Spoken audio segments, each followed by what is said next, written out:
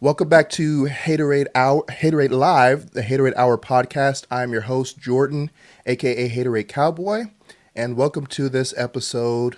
And we've got some some friends with us, and we're going to be talking about some different topics. We're going to be talking about some home theater updates, if there are any. We're going to be talking about large TVs and home theater, Kaleidescape, Dune, and M-Wave. But before we get started, as always, let's be let's have fun. Let's be kind to one another, and let's keep it G-rated. All right. Well, we got the original lineup of every the Everything is Bigger Texas Home Theater Tours minus one, but plus one this time. So, if you're new to the channel and you haven't seen any of the home home theater tours that I've done, these are some of the gentlemen that are on those tours. So I'm gonna let everybody go around the room and introduce themselves. We've got Vern. Hi, yeah, I'm Vern, and I'm the person with the curved screen in the relatively small theater. um, enjoyed all of the uh, conversations we've had so far. Not a whole lot new to report on this end. No updates to the theater or anything like that. I'm digging that shirt you're rocking tonight, Vern. Is that from your uh, your Hawaii roots? Yes, you're right. It's uh, probably a 40 year old aloha shirt from back in my days in Hawaii. Nice. Yeah, they don't make them like they used to, do they? no, they don't. That's that's a that's a testament to how things were made back then because it's, it's, still wearing it. it. Still looks good. mm-hmm. And we got Rusty Minch. What's up, Rusty? Hey, hey, thanks for having me. Good to be back again. Um, looking forward to cutting up with you guys. We always have a good time. Oh yeah, definitely. Um, and the only thing I guess really new with me is, you know, I've uh, volunteered to work on the M Wave to help coordinate the event, and that's been a lot of fun. It's also been a lot of work, but uh, it's the fun kind of work. So glad to be doing that. So I, I figure we'll probably talk about that a little bit more later. Yeah, yeah, we'll talk about that too. We've got John. What's going on, John? Hola, how's it going? How you been? Pretty good, man. How about you? Great, doing well. Um, so John Brock here in the DFW, Texas area, and um, I'm. this is the best acoustic room on uh, in my house, obviously. So I I'd like to sit in the theater whenever I'm doing any podcasts, and uh, hopefully the I, I'm not hooked up to any other gear or microphone, so hopefully it sounds okay. But um, yeah, not a lot new in the theater. Sad to say. I'm always thinking about it. Um, I think my first thing I want to get though will be I, I do want to upgrade my um, Kaleidescape uh, storage drive because it's a measly little six terabyte. So, Same um, here. so I, I, I still want that. That's that's my first next thing to get. But there's always things in the in the bullpen waiting to waiting to pull the trigger on. Oh yeah, always. So we'll talk about that some more too. And then we've got the man who started it all, Doyle Schaefer. What's going on, Doyle? You're muted, by the okay, way. Okay, there we go. I had unmuted. it's all on this tiny phone. Hello, yeah, I'm Doyle. Uh, I uh, I'm still enjoying my TV. yeah, we're we're we're gonna talk about that. Okay. Okay. but it's good to see everybody. We have another Rusty that couldn't make it tonight. He had to watch his kids, so Rusty, if you're watching this or if you watch this later, you know, I know you're you're here with us in spirit. He just checked in in the chat. R two D two. Oh yeah, I see him right there. What's going on, Rusty? So cool, man. Yeah, it's it's been. Uh, I think the last time we got together was January, and Doyle wasn't able to make it with us uh, last time, but he's he's here with us. So cool, guys. Thank you guys for for coming on and hanging out with us tonight. Probably won't try to keep it too long because I know everybody's got stuff to do. Maybe about an yeah, hour. Thanks for having so. us. Oh yeah, thanks for thanks for coming Thank back. You guys have been integral to to the channel. Let me let me film your home theater tours. Got some you know got an opportunity to check out some really cool stuff. So appreciate you guys. So we got some people in the chat. What's going on? Everything with MDP. We got Evangelist. Great panel. Thank you guys. Or thank you. Michael Slocum Jr., good evening, Doyle and Rusty. And we've got, let's see, looks like Evangelist is from H Town. We got Rusty. We got Rob Zelinka. What's up, Rob? Great to see Doyle. I need to hear those Perlisten JTRs and Harbottle subs. Oh yeah. Yeah.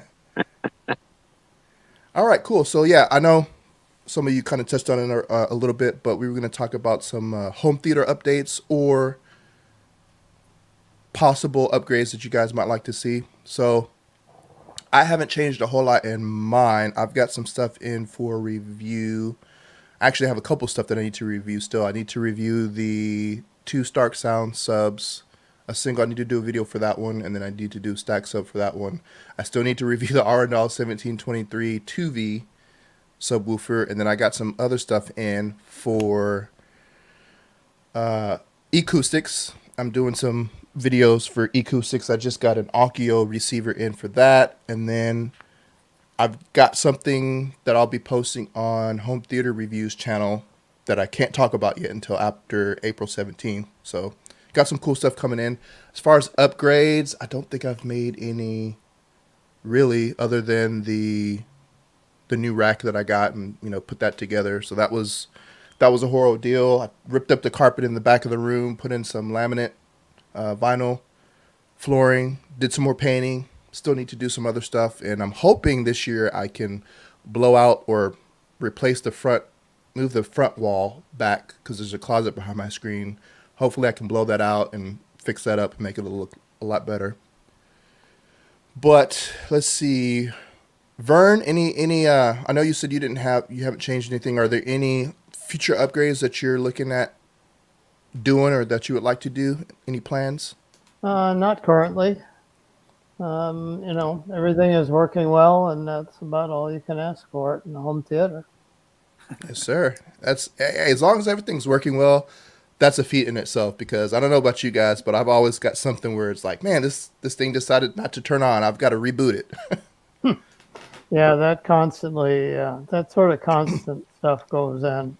I did have a, a relatively small HT get together with Oh, nice. uh, two gentlemen named Zach Gingerman and Wade Young, and um, they're newcomers to the group. So awesome.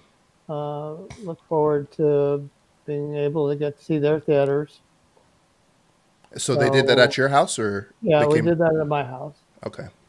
We did the this is Cinerama and the various assorted widescreen things. And both these people were very into computers, so we talked a lot about HE Web Remote um, and uh, some of the other stuff that I use for automation. They were very interested in that. Awesome. Always good to see newcomers. Rusty, what about you? Any any new gear, anything new that you're planning on upgrading to? Yeah, I haven't changed. I don't think I've really changed much since the last time we talked. Um, the two big areas, well, one main area I want to work on is acoustics. I've got a pretty basic setup, but it wasn't done very uh, scientifically. I just kind of put some panels up. the I feel like there's probably a lot of room for improvement, and then after I do that, then I would want to, you know, recalibrate. And I'm interested in learning how to manually calibrate to get, um, to see if I can do better than what Dirac can do. Um, I don't know, uh, but that seems to be a. I, there's a lot of talk about it. It's something I want to explore more. Um, but there's not a whole lot of point in doing that until you nail down the room acoustics. And that topic. Uh, frankly, there's just it it's like a hobby in and of itself it seems like that's the depth of design. So i want to learn about it but i quite frankly haven't had a free minute. I'm- i'm barely having i've barely had enough time to watch movies and i i hate that. So we have been uh we started watching masters of the air i think yeah Oh, yeah. apple tv have you seen that I am so I am a couple a couple episodes in. I need to finish watching it because I think I had started watching it and I was on like a I was on like an Apple TV Plus like free trial or something, Mhm. and it ran out, and I was like, eh. So, but then I actually I saw another promo. They had a pretty good deal for like two months or three months. So Yeah. I need to go back and finish watching that. But it's it's not bad so far. Yeah, we're I think we're six episodes in, and we my wife and I are really enjoying it, and it was it's been interesting to learn how you start googling things and going how true is it, and it seems that it's actually pretty historically accurate. Um, Huh. So w- we've enjoyed that, and the, see what was it the other night we watched. This is the new the newest Hunger Games movie, um, where it's like Oh. Songbird, sequel. Songbird and Snakes. Yeah, Yeah. I watched that on the plane a couple weeks ago. I went to California. Oh, So I thought it was that. it was good. It It wasn't. was it was on It a plane, wasn't- and I was Blasphemy. I know I know first time I've done it. Yeah, Go ahead, I thought it was good, not great. I preferred the older ones, but um, I still enjoyed it. It was it was fun to see. Kind of, I like the origin stories. Um, all right, what else in terms of upgrades?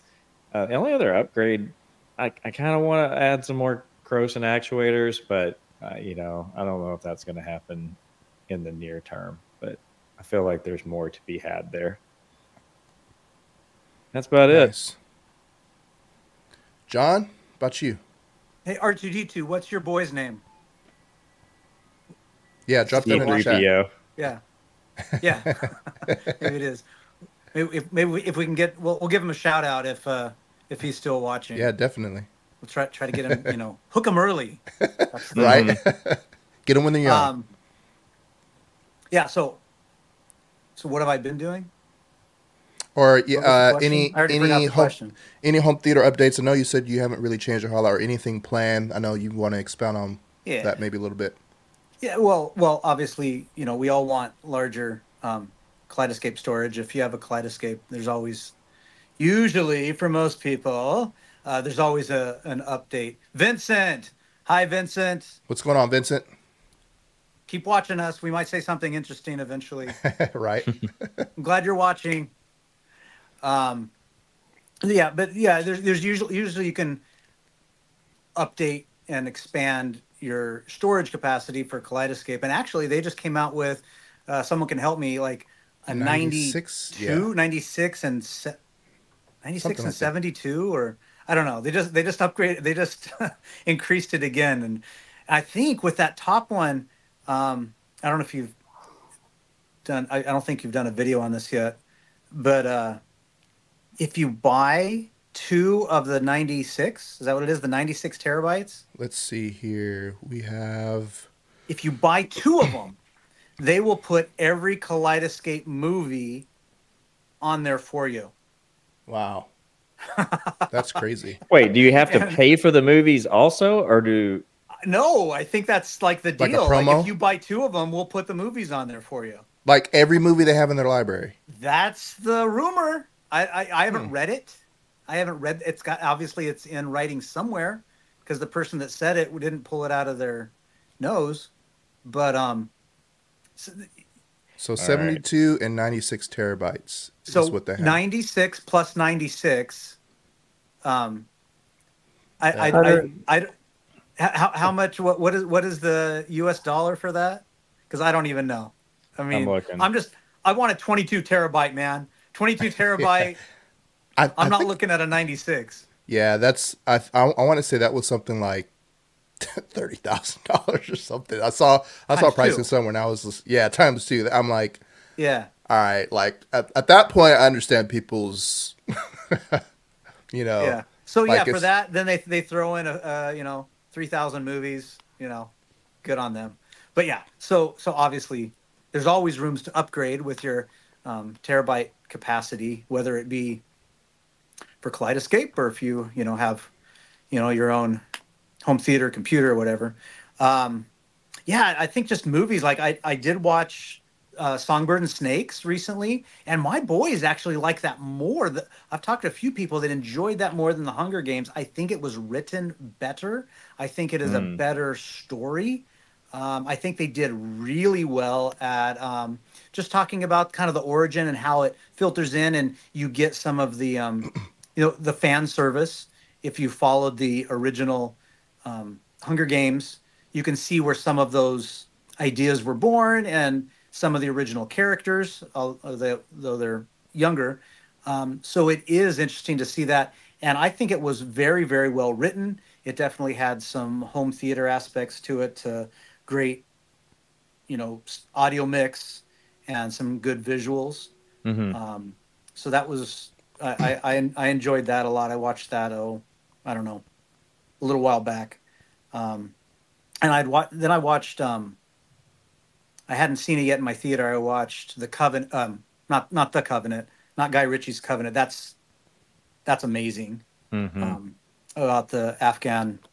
Mm. No, no, not the Afghan war. Um, what, what what what was that? That was, yeah. I haven't. I think it that. was Afghanistan. Yeah, yeah, yeah. Okay, yeah, well, it was Afghanistan. Um, that was great. That site, but Alien Covenant. I watched that the mm. other day for the first time in the theater, and I enjoyed that. That was really cool. Getting you know getting ready for Romulus. That's supposed to be out relatively soon in the next couple months. So I was going through some of those prequels and you know getting caught up, and I'll then I'll watch Alien, and I'll probably watch Aliens because why not? Um, I, I ha- actually, and I haven't bought Alien Three yet. Alien Three, decent. Alien Four, what's that one called? That one's tough. That one's a rough watch. I don't remember what that one's called. Spoiler alert: She comes back to life. Um, Alien Resurrection. Resurrection. Does that sound right? Um, you know where, where they yes. Sigourney Weaver's in it, it again. That's it. That one's that one's a little rough. but but but Alien Three was good, and if anyone knows the history of that, it was um, a rough production, so it made for a rough a rougher movie. I think there might have been a couple directors, and there was definitely some uh, stress on the set. But I enjoyed Alien Three, okay, but of course, Alien and Aliens are classic. So, but I did enjoy Covenant. It was a great home theater watch, and that was fun to do. So, yeah, a couple movies here and there, and that's it. Just enjoying my my theater when I can. Nice. And Doyle. So, obviously, if you've watched watched the channel, you've seen the the updated tour that I did with Doyle. So he's got quite a new some new upgrades. Doyle, you want to talk about that a little bit? Yeah, uh, I was trying to get my computer to host this, but it's it's disagreeing, so I'm gonna leave it alone. Um, yeah, so you know, I, I stacked the, uh, my my original subs in the front, the Perlistens, and I got a two JTR RS2s in the rear corners, and then a Harbottle M24 in the behind the main listening position. And ever since the um, the the home the, the second home theater tour, I haven't done a thing. I've been playing Spider Man 2 with my son a lot. oh, okay, the game. Yeah, the game. It's pretty awesome. what what is the what is the audio experience like on that? Because I played the first one. I don't have a PlayStation anymore, but it gets overwhelming at, like after a while because you know really it, yeah so so on that on that TV, right? I'm so close to it. It feels like uh, it's like you're actually in the city, right? Mm-hmm. Especially at night because it's you know with the the true black level. It's like the buildings, the light from the buildings twinkle and whatnot. It's pretty cool. Okay. So the swinging is really cool. The fights are awesome. The explosions are visceral. So you know you can just go from fight to fight in that game, and it's like uh, after like 20 minutes, it's like okay, this is a lot but it's it's fun. Um, audio is good. They got, I think they got Dolby Atmos in there too. Oh, nice. Yeah, yeah, we like it. And um, he he already beat the game, so he tries to not tell me like what's where stuff is. he's he's a good son. That's funny. And um, upgrade wise, I did make four uh, speaker stands for the the side towers and the rear towers because mm. you know they're supposed to be the tweeter's supposed to be at your ear just above, and it's just below. It that that's technically okay, but I'd rather have it you know like six inches above my ears at those distances. So I made those speaker stands, but I've been too lazy to actually like put the speakers on them. They're sitting like they're waiting to be used. And um, today, uh, I got a I got a like a, a message from a buddy, and he was like, "Hey, you know anybody who'd want this subwoofer?"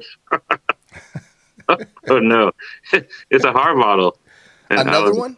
Oh yeah, yeah, another one. And I was like, I was like, I, I thought I was, I thought I was like Vern. Like I'm, I'm, I'm good. I'm okay. I'm done with this.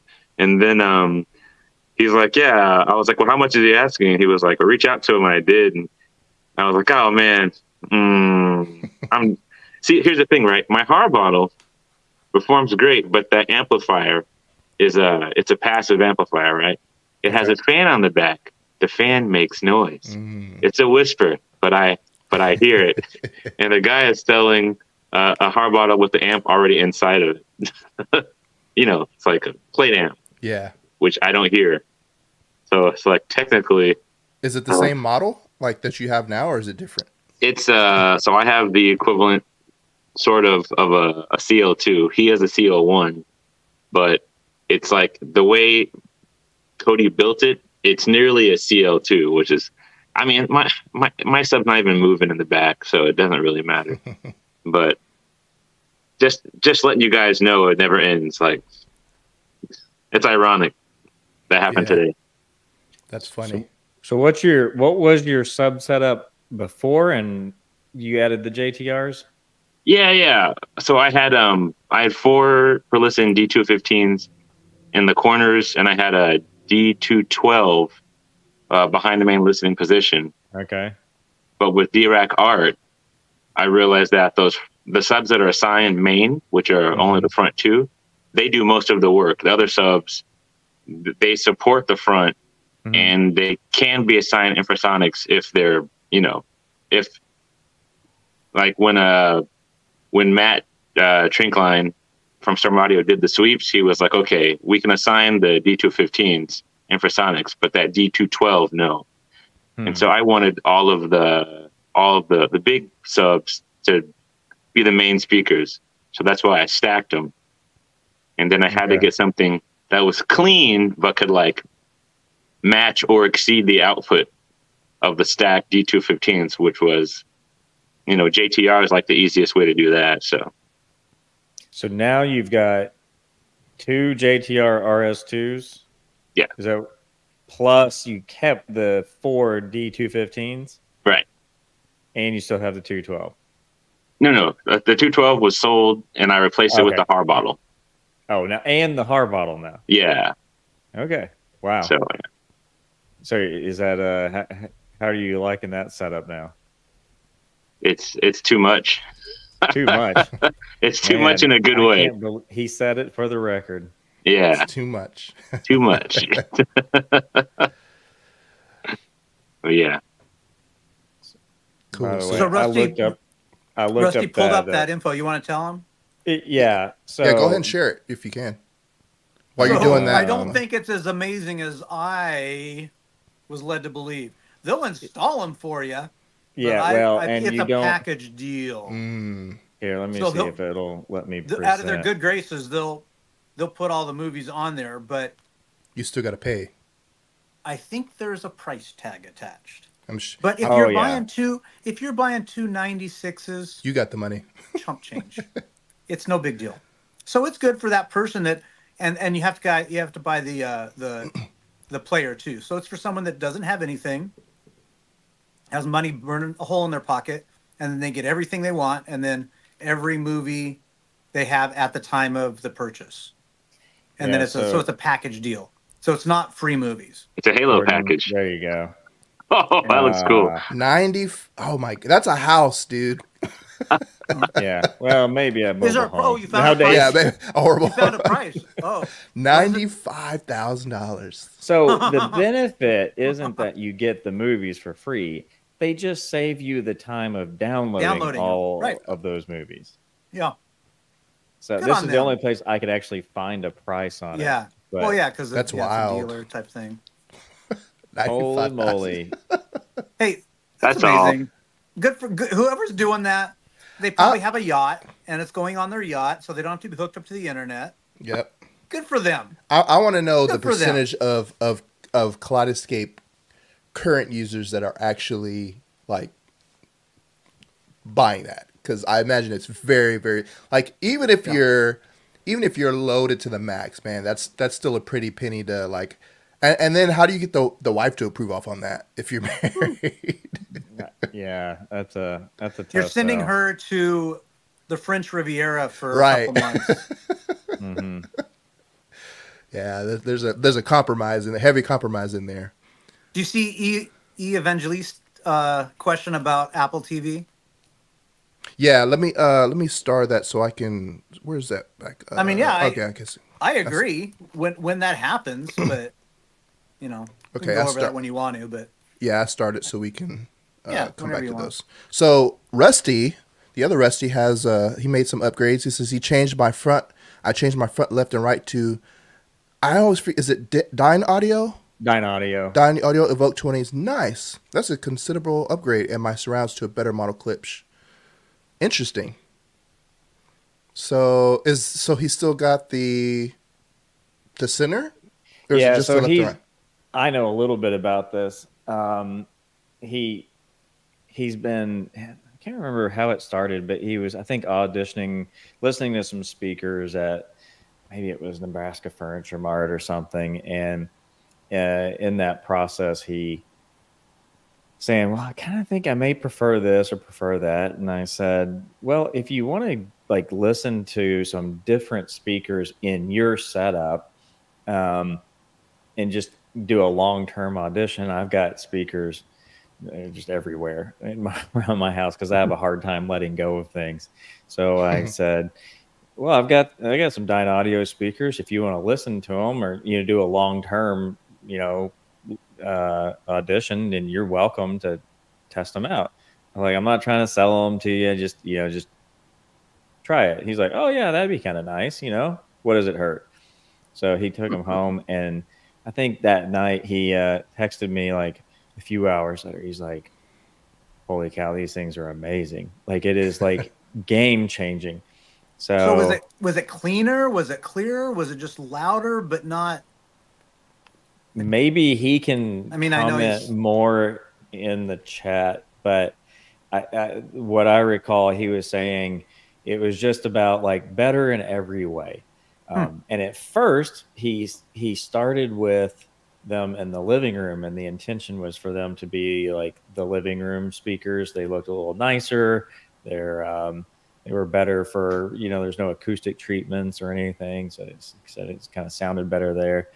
And then he enjoyed it so much, and he was like, "Okay, "Well, do you want to sell them?" And I'm like, "Well, yeah, I guess so." You know, like I need to let go of some stuff. I'm, I've been Yeah. a, I've been collecting too much, and so uh, I sold it to him and gave him a good deal. And so then he said a few like a week later, he's like, "Well, I moved him to the primary home theater," and he's Inevitable. he said, "Now I want more that match because they're just." He said it was game changer. But uh, man, I wish, I wish he would stop babysitting his kid and join the chat and tell and speak for himself. Vincent's fine. Just get on. Yeah, Right. he's he's Put- one. He Put can take care in front of of, a himself. movie. Yeah, he- he'll be fine. So are those are those speakers bookshelf or are they floor standers? Towers. Uh, these are bookshelves, but they're like big bookshelf. Um, man, I don't know. Here, it's this big by. Oh, okay. I mean, so he's they're got to put them on a stand anyway. Yeah, they're pretty. They're they're sizable bookshelf speakers, and they sound. I mean, they sound like towers. They're nice. What's the frequency range on those? Um, I have to look it up. I can look it up real quick. Okay. Yeah, he, the only thing, and he may hate me for saying this, the only thing he needs now is a matching center. Exactly. That's what I was asking because he said he did his, his left and right. So I was like, oh, I guess he still got the uh, the Klipsch because that'll make a big difference. I haven't heard those speakers, but just having, I've been in that situation before where I had, um, oh look who we got here, y'all y'all y'all bullied him into. It's about time. Welcome. Uh, oh crap! We will corrupt everyone. Oh, he's watching Oh, us on the big screen. oh, nice. I am. Well, I'm glad you could join and speak for yourself. Well, I don't know how long I'll be here, but No worries. Um, so, yeah, more on the Dynaudios. So basically, yeah, put those in the living room, um, and they were just far superior to the Klipsch towers I had in there. Um, more clear, much more smooth uh, frequency response. Um,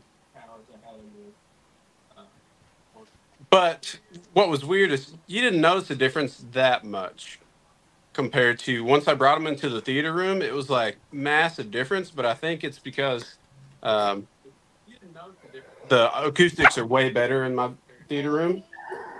Oh, if you hear my son, I'm sorry. I saw him running in there. It's okay, Vincent. it's Um, time for him to make his YouTube debut. I know. Say hey, say hello. What's up, man? Oh my gosh. Camera shy. Um, but yeah, once I put him in the theater room, it was just like, wow, you could really tell the difference versus uh, the living room. So, and then my room's smaller, so I Mhm. was I'm still able to hit reference levels and not be like at positive dB. I'm still like negative two on my receiver. So, um, so yeah, it works out well. But yeah, now I've got to upgrade my center channel. Uh, definitely the center channel. The surrounds later, but the center's like it has to happen soon because it does does really bother me. so it's pretty obvious that it, they sound different. Very obvious. I would So that- expect so because those are way different style speakers Yeah. too. well, and then I think part of this is like just learning what I like, Hmm. you know. Mm, true. And I do like uh so Dynaudio, it's a pretty neutral speaker, but it does roll off a little bit at the very top end.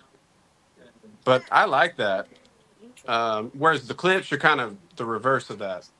they they kind of peak at the top end and it gets harsh and they're not Klipsch isn't bad. I don't want to like rag on it. It's it's not. Yeah. I like uh, Klipsch too, actually. Yeah, just just figuring out my preferred um, sound really. Yeah, I agree with you. Uh, That's why I like the Polks that I have, is they're relatively subdued on the extreme high end. They don't have that harsh metallic sound that the uh, horn tweeters and and some of the Klipsch's impart. Yeah. So that that just means Rusty Rusty Mitch, you're a bad influence.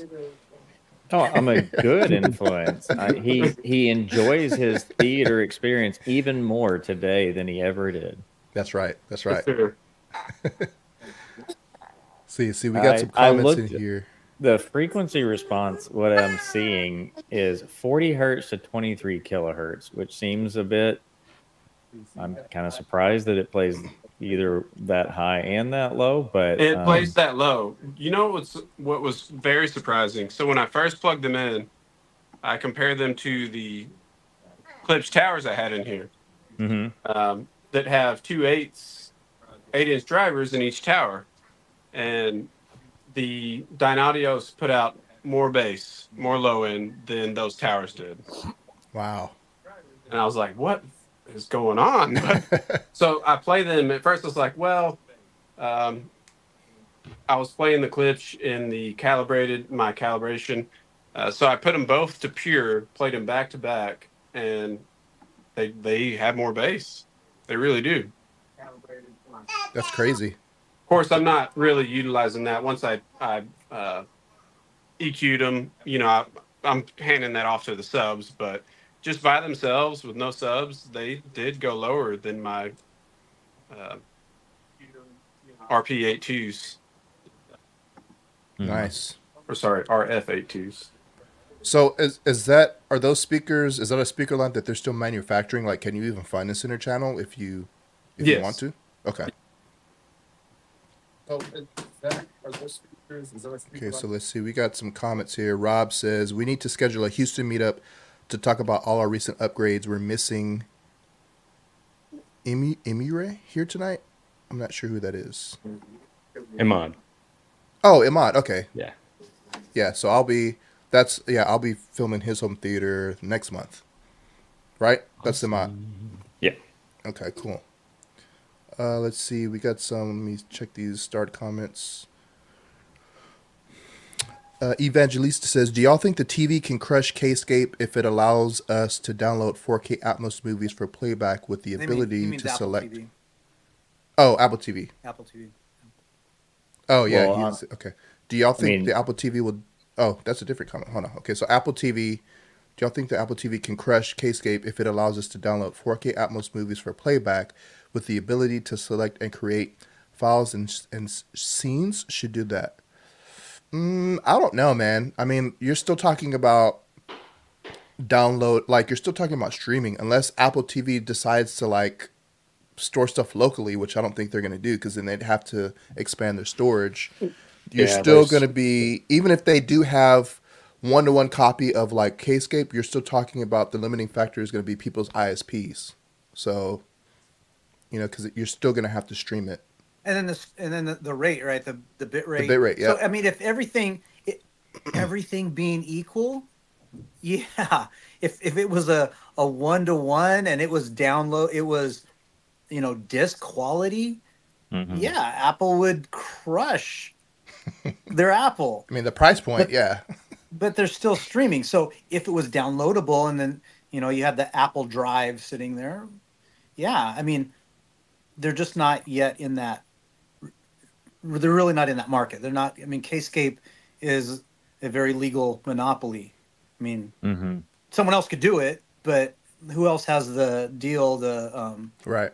Movie the deal with the, corp- the theaters right now besides them. So they kind of, you know, but, But- yeah, app, app, the, the market's there for it. If, if Apple wants to come in and undercut and wipe them out, they could probably do Uh, it. But And I think, well, and, and you touched on the, the agreements, you know, with the uh, the oh my goodness, not not the producers, but the uh, movie with the Studios. studios. yeah, with the yeah. production companies, yeah. Yeah, but if anybody has the ability, like the kind of pool that you would need to make that happen, because you got to think back, the the fights, legal, the legal battles that Apple fought back in the early MP3 days when they were fighting the record labels against um, uh, CDs, and they're saying like with the, the original iPod, the pre iPhone and pre everything, the iPod, they had to do a lot to convince the record labels to allow them to do MP3s and digital music.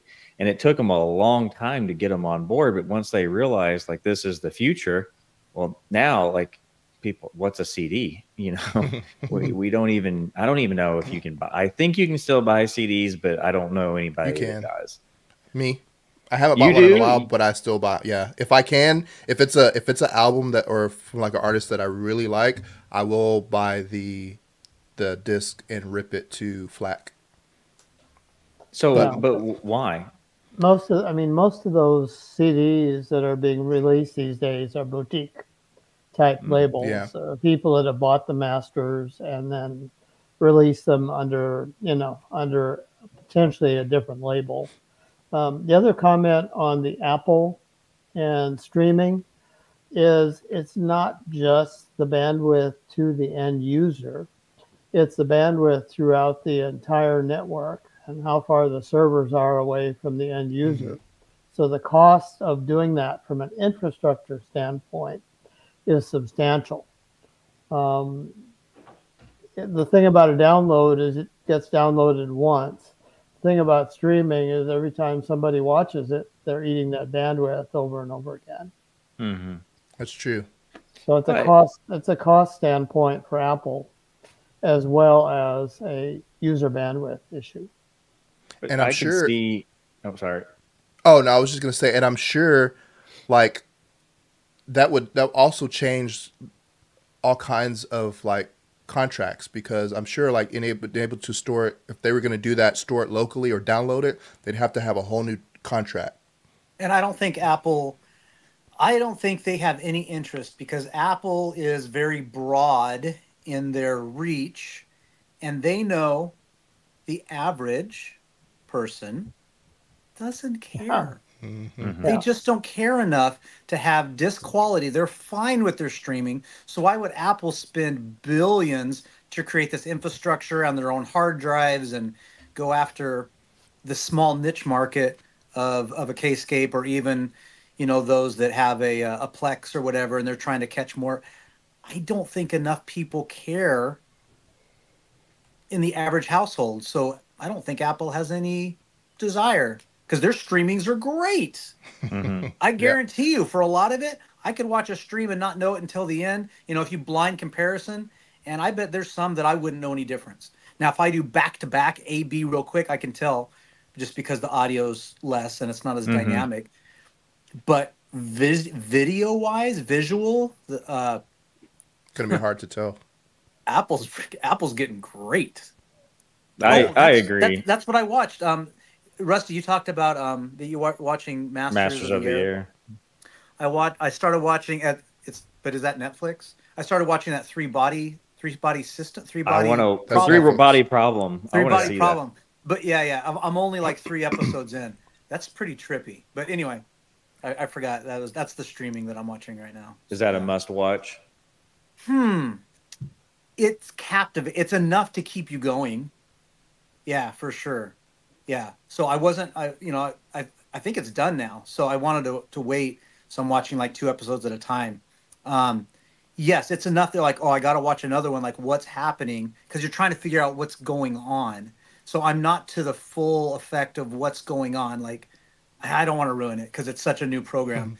You don't really know if what's happening is really happening. So you want to tune in again to see is that really happening. And you know, another one that did that, if you don't mind me saying, is I was blown the everything about the first season of um, True Detective with McConaughey and I've never seen those. Woody Harrelson.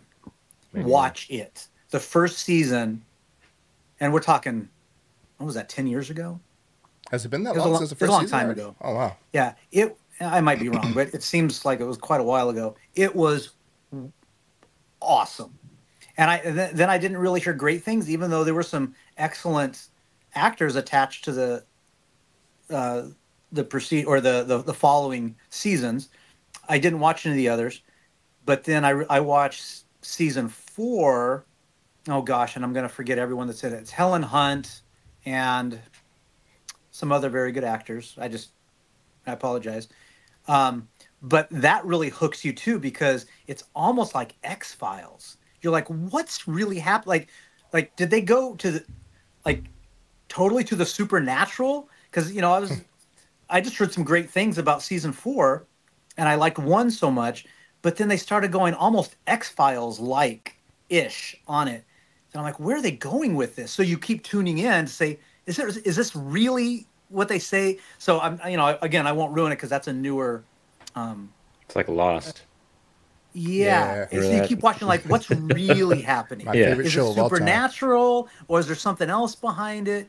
So yeah, newest True Detective was really good because it's beyond like a regular mystery. Season one of True Detective is still amazing, uh, very gritty and uh, raw. Like just it's good. Alright. But uh, true uh, three body problem. I'm I'm enjoying that. So if anyone has not does, hasn't heard of it or is wanting to pull the trigger, I think it's worth it. It at least the three or four episodes I'm into it. it it's a lot of fun, and Yeah, I keep- visually it's incredible. Like I just the keep visual. about it. Yeah, it, the the visual is is really good. They do they did high production value for sure. Cool. That So was a long talking way Alright, I'm con- I'm Apple's convinced. great. Apple I'm convinced great. I'll watch it. Yeah, I think you'll enjoy it. So talking about that visuals and you know bit rates and stuff like that, are large TVs the future of home theater? Advantages and disadvantages. So anybody that hasn't been following the home theater community, the you know entertainment community, large TVs are starting to get bigger and they're starting to come down in price by a lot. I think I think Hisense, TCL, a couple a uh, couple other manufacturers have like 100 plus inch TVs for like 5 grand and under. Under So the big the big question is, and I'm sure we all have our own. I, I'm pretty sure I know where we'll probably all stand, but I want to talk about that uh, because, well, I mean, we have Doyle here. Doyle can talk about it. I'll let him talk about it first. But my biggest thing is with the TV, like if you start going bigger than like a 75, 100 inch, you start being limited on your speaker placement. And because now you're talking about putting your center channel below the TV or above. Most of the time, it's probably going to be below. And now you've got to like try to figure out how to angle the the the you know the speaker. The tweeter's not going to be level. So Doyle, you've you've you've had both. What what is your for those people that haven't watched the the Hope Theater tour? Why did you switch from? Uh, you had a hundred and was it 130 inch screen? No, like 113 or 113, 110 uh, diagonal scope screen, and um, I had my center channel behind it at one point, Right. and it, it's it's really cool actually, like having the sound come from the screen. It was cool, but um, I- believe it or not, the screen was a little too close for me, and so so I backed the screen up and I put the uh, the center channel under it, and um, it's not it's not perfect like that, but it's definitely good enough. And so that's one issue I have now, though. I have a 80, I have an 83, and it's quite close to the main listening position. But if I go with a 98 or a 100, I'm not going to lower that center channel any lower. Then it'll, it'll be like it'll just. I- think I have like the perfect balance for me. If I lower any lower, it's going to be too low. It's going to be distracting for me. And so if I keep it where it is, which I will, and I go with a bigger TV, it's going to be 16 by 9 uh what dimensions my Mhm. TV is going to be so tall i have to look up at it and um like when I'd watch stuff on youtube the screen will be too big. It'll be huge mungus and um for a playstation as well you know i game quite a bit in that room. For movies it'll be beautiful. But you know it's a balance of all of them for me. So i'm just i'm just relaxing with what i have for now. So why did you why did you switch from uh, a projector? And you had a pretty you had like a cream of the cream projector. Because you had the you had the JVC NZ9 right, yeah mhm. and then you had your projector. So I know a lot of people in the comments are like, why did you go from you know away from such a, a nice projector? So yeah, why did you switch to to a TV? because I could hear it all the time. so basically, when you could have the volume low, and you know, with ambient noise, it's amazing you can't hear, right? It And your, your projector was like what? Sorry to cut you off. Your projector was what? Maybe what? Like five or six feet from, right behind you. yeah, five or six feet behind me. That, Okay. I'd say that ac- and like up, like maybe three feet or so, four. So it's relatively close. It's pretty close. And so I designed two hush boxes. And the first, the second was quite good. I could not hear anything. Like you'd have to turn everything in the room off, turn the projector on. With medium lamp mode, I could barely, like, it, it didn't matter, right? It was barely per- perceivable, perceptible. In high mode, in a quiet scene, like, you know, when it goes silent for like two seconds, I could hear it. Like, it was just enough to annoy me and so that's just a personal thing that I have. Like any noise, I want it, I want it out the room. But that's that's basically the main reason. And also uh, for gaming, I could tell there was just a, a little like compared to an OLED, the saturation, the HDR just you know it's like ten percent. It just wasn't quite there, which was strange because for animated movies, that NZ9 was just like an OLED but for other scenes like neutral scenes it you there's a stark difference right? But um yeah it was basically like little things that kind of bugged me and worrying about the temperature. I'm always checking on the projector. I'd pause a movie and check like is it over here? Is it getting hot in there? You know Because of the like, hush box. Is it was in a hush box yeah Did it? So my- Did it cause any problems with the hush box or? No? oh no no no no like um Okay. yeah the second design was a lot better and Well, uh, send me And your and second big's design because I want to test it out. okay yeah i can do that That'd be cool. Because Yeah. I, How- I, I'm with you on fan noise, okay but I'm Yeah, not giving up my 150 inch screen. So I respect that. How big's your TV? Only 83 Okay, so you went from a, a 110. to an 83. I moved it about a foot and a half closer. But that's your temporary TV, right? Like ah, I'm, I'm kind of liking it. Believe it. really? Okay. yeah, I'm kind of liking it. Um, so for gaming, it's literally perfect because it fills the whole frame. But for movies, you know, it's and Mhm. um, but it's still. I'm like, this is. It's, hey, when the prices of an OLED 90 something inches finally comes down, like like a little less than half what they are now, then we'll Yeah. Mhm. consider it. But And so you have what what model TV? I missed. it's That uh, a Sony A80L, so it was last year's. Flagship. Was it their flagship? Their Uh, flagship was uh, one notch up, but it its biggest size was 77 inches. Mm, okay. So I just And yours was 88, 83. 83. Yeah. Okay, Mm, cool. Vern, what what is your thoughts on? Uh, I'm pretty sure I know what your answer is going to be, but what are your thoughts on uh, on large large format TVs Not versus until you they curve them. yeah right and, Well, and- actually, I have two curved, uh, not large format. I think one's a, a 40 something and the other is a 50 something diagonal in the house, but one of them's in the bedroom and the other one's up in my lab upstairs where I have all my PCs okay. and do oh my yeah, editing work. and do my editing work. Um, the curve is not as important to me when it comes to a uh, a TV as is the difference between reflected light and emitted light. You know, what comes off a, a flat panel just doesn't look natural to me.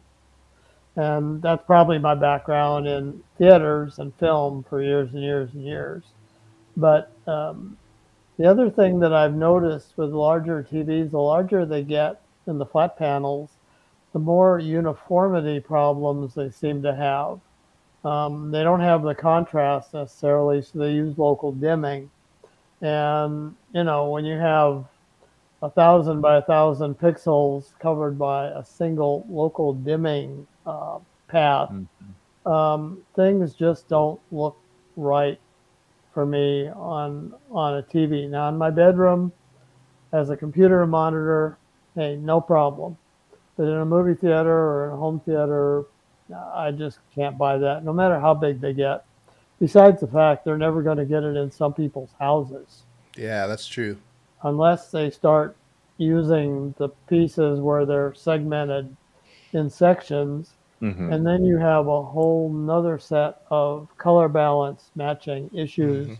because each segment um, has to be tuned individually to match to a standard. So for me, it's it's just a no go in in a in a home theater. Yeah, and I'm, I'm I'm with you on that. Like for me, I feel like I mean having a nice TV with you know brightness is great, but I feel like I just don't I don't get that cinematic feel watching a movie on a TV like I do with a, a projector. This just like you said, this is, it looks a little bit more natural, at least to, to my eyes. I mean, the other factor is in a home theater, the rooms are usually treated for light. They're 100% dark. So, so what if the flat panel can do 2,000 nits? You're never going to use it unless you want to burn out your eyeballs in a, in a blacked out room. So, you know, that that's the other thing. You know, living room, bedroom, uh, even a, a, a computer room where you've got lights on is one thing putting it in a home theater where you have light control is a totally different animal. Rusty B, what are your thoughts on that? If you I'm still here. okay, I'm in the playroom now.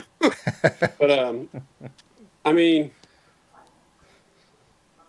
the black levels are that's the main reason, right? So for an OLED, even in a even in a controlled light environment, the black levels of an OLED are far superior. So large format TVs, if you're talking LED, I mean it, it will be better, but I'm still I'm not sold. But if they could do large format OLED, I mean, the black levels are going to be superior because there's no light, yeah, you know. Um, so, but yeah, when you come to what Vern was talking about being segmented, that could present challenges. Well, much just just hiding the segments, you know, and not having lines. But if there was a way, like really, I'm thinking if they could make like a 110, 115 inch screen to where it's like it's rolled up like a piece of paper, you know, Mm-hmm. and you can just unroll it and mount it on your wall. there's somebody out there. I think there was either at this this year's CES or last year's CES. Somebody had something like that. But you're, I mean, you're talking about like it's not even, and Yeah, they the said that it, you can, yeah, it's Yeah. you can buy it, but it's like you're talking like a Million know, bucks. yeah, Yeah. two hundred fifty thousand dollars or something. So it's like it's not even nobody's no no consumer is going to buy that unless you're you have a mansion and you know a yacht and stuff like that. Ferrari, yeah, Right. Yeah. Yeah. but yeah, I do I do think I mean the JVCs are amazing, but when when it comes to black levels, the OLED has it hands down. Yeah, but does OLED have the uniformity issues uh, in terms of Depends color over a over a Yeah. wider area of the screen? That that's my concern with them. Yeah. If you go up to like a 115 inch, because I'm sure you could get like a 65 and the uni- uniformity is really good, but hmm Yeah. Fortunately, I can't tell. I'm just gonna do this. yeah. You start you start getting into a whole host of problems with that, you know, uniformity and then speaker placement, and then like with those with those panels, like you're talking about, you got to worry about heat, and then I think you have to have like uh you can't. I don't think you can just plug it into like your regular outlet. Like you got to get like a you know 20 amp or or even you know higher just to run it and so you now you're talking about energy and like i think those those those those panels they put off some i think that's one of the biggest problems right now is that they put off some heat so not only is that going to heat up your room but then the heat you know is like electronics' is worst thing so i think they have issues with that with like the panels you know basically failing because of the, the heat so um i think i think it's good to have the option but like Mhm. like a video wall i would never put that for me personally in my in my theater just because of the you know the speaker placement and stuff like that rusty mensch what what, Oh. what are your thoughts oh go ahead rusty no, I was like, oh, you just saying that. I'm like, oh crap, what about uh, acoustic transparent? Mhm. I didn't yeah think of because that. you can't you can't like Yeah. i know that i've heard that they said that they there's a way that they could do it but me personally i don't think it's ever going to be a legitimate one to one like having your having a acoustically transparent screen there's just, Yeah, there's just I no wouldn't- way I wouldn't think so. In in commercial theaters that have tried that, they've had to use some sort of reflection s- system Mm. where the speakers are aimed at the screen, and then the Ah, sound is reflected off the screen.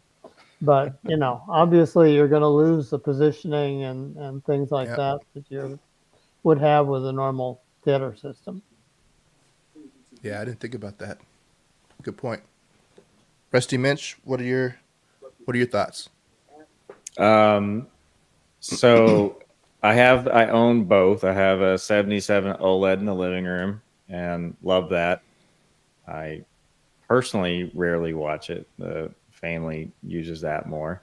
I have a 150 inch projection screen, acoustic transparent in the theater.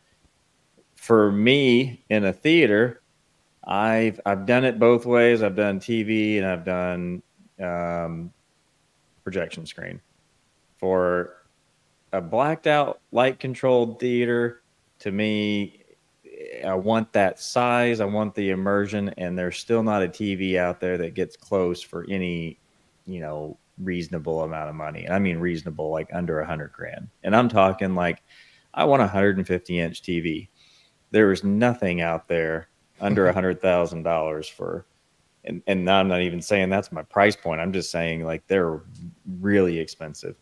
Now I know that the you know the 100 is getting to be pretty 100 inch range is getting to be very reasonable. Um, even some in like the 110 inch range, um, still just doesn't satisfy me for a blacked out light controlled theater. Now, um, I do want to say so. My personal preference, I'm gonna I want wall to wall immersion. I like my speakers right behind the screen. Um, acoustic transparent and until there's something tv that compares with you know like an nz9 price probably not that interested. But i have this discussion and i'm going to shout out to damien friend of mine home theater enthusiast and we've had this debate back and forth on tv versus projector. And i say yeah for my application in my home theater uh, to me there's it's like projections the option for me. Um, however, like I use in the living room, I use a TV, and and he had some good points that I'd be remiss if I didn't bring up to kind of uh, balance out the arguments. Um, you know, TVs, perfect blacks. Somebody already mentioned that, but you're just not getting that out of a, a projector. Um, you know, the cost to make a, an all blacked out light controlled room is not insignificant. Like that's a, you have to really commit yourself to make a, to, to build out that sort of room. It's not, it's not going to make a great living room and projectors in living rooms are terrible because they're not really attractive. Um, they're they're they're unsightly, and I'm not saying you can't make it work, but there's some pretty big compromises if mm-hmm. you're doing a family room, a non-dedicated theater. Uh, they're they're kind of ugly, um, and and and you're gonna have all sorts of stray light. And to me, if you're gonna have any amount of stray light, like even a little bit, it's just the deal breaker for projection. It just it ruins it. Mm-hmm. Um, mm-hmm. See, what was the other points he made? He said uh, he wants eh, something else to consider G Sync for gaming. That's a big deal mm-hmm. to him. Uh, Dolby Vision. Um, yeah, that's none of the projectors that I am aware of. None of the projectors support Dolby Vision. So if that's important not to real. you, like there's some that are marketed. There's some. Uh, oh god, ultra short the, uh, throws uh, that the ultra th- short yeah, throws. Yeah, that's not. It, and I don't want to upset any sponsors on the Hatoraid Cowboy channel, but that's a marketing ploy like THX certified. I don't believe any mm-hmm. projector is doing that. One one thing to add on that is Dolby Vision's really unless you can take advantage of those nits, it's it's kind of pointless. Yeah, the, the reason why the reason why ultra short throws are have some of those have the Dolby Vision is because they're so. Because I remember I asked that I was like, why can't we get Dolby Vision on projectors, but they have them on ultra short, ultra short throws?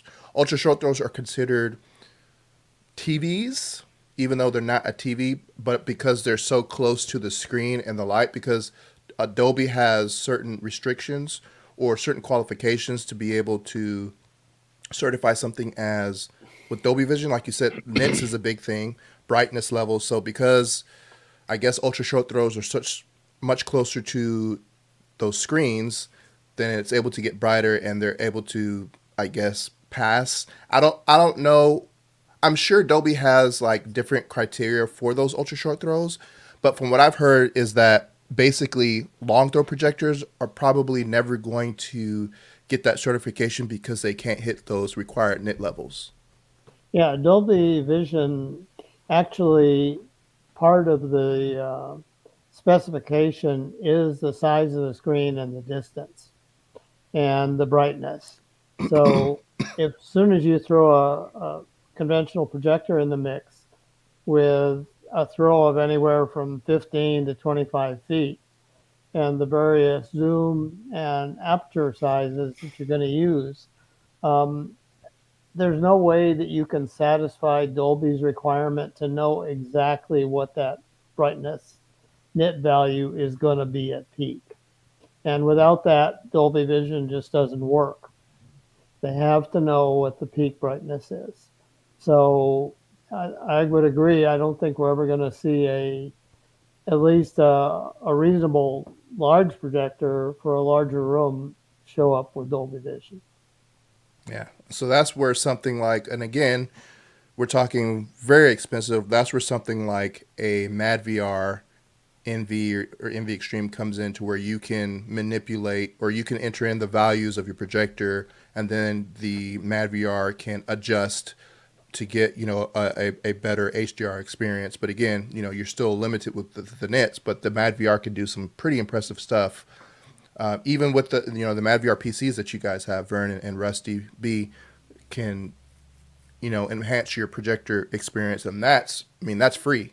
I mean you still have to invest in a computer if you don't have one. You know you got to download the software, and then there's a lot more tinkering, a lot more time involved. But you know it's not optionless if you have a projector and you want to get you know better HDR levels. Rusty, don't you have a Mark II Envy? I do. Yeah. Yeah, and it looks good. I've I've seen him. I've seen him a few times. I've seen him uh, in Rusty's. I've seen him in uh, Chris at Home Theater Dues. I've seen him at, at MWAVE, and I've seen them at shows. And I mean, they they're impressive. Uh, but you know, they're just it's kind of like the the Kscape thing. A lot of people probably won't be able to afford them, but if you want to go go down the Tinker side, then you can download the free version. That you've just got to spend a lot more time, you know, doing that. Uh, John, wh- what are your thoughts? Would you ever consider going to? Because I know your center channel right now is below your um, below your screen. Would you ever consider going to a large screen TV? Yeah, so or- my so my center my center speaker does have an adjustable tweeter, so That's it's right, yeah. aimable. Um, I've never had one person complain, Nope, including myself. yeah. No one has ever said, "How dare you ruin my theater experience by having a center channel below my viewing uh, screen?" Um, yeah, I was there. I was like, man, this is gonna suck. I'm just kidding, but uh, we were I both think- there. yeah, I've I've experienced it, and I will testify on his behalf. It does not suck. Um, it's No. actually wonderful, and what was I think really helps it is your room proportions. You have enough room that your your distance from your center channel is good enough that the angles are not that far off because it's really about angles, not about distances. And you have it sounds great. It does not sound the slightest bit um, flawed. So Yeah. I mean, if you're getting really, really, really sensitive to that, eh, you might pick up on a little bit. I tried to, and it the the dialogue's coming right out of their mouths, as far as I'm concerned. Unless I was Mhm. trying to be super critical on purpose and hate my own system, then maybe I'd notice it. um, And that center channel is huge too. What is it like? Three or four feet wide? Hey, Maybe I'm not that at it. No, I mean, I not it's, the, it's not the one I want. I want the Utopia 1000, Focal 1000 Utopia, which is quite long. Uh, this is it, it's the this is the LCR the okay Focal 1000 LCR in wall center. Uh, Still a massive I- I think actually it's called it's called L. It's it's LCR because it can be it's it for a lot of people they use it for their le- uh, left, right, and center. okay. Um, and I have it so I have it horizontal, and then it's and then the, the, the tweeter is you can twist it to make it That's in a right. horizontal position, and then it then it's then you can manipulate it.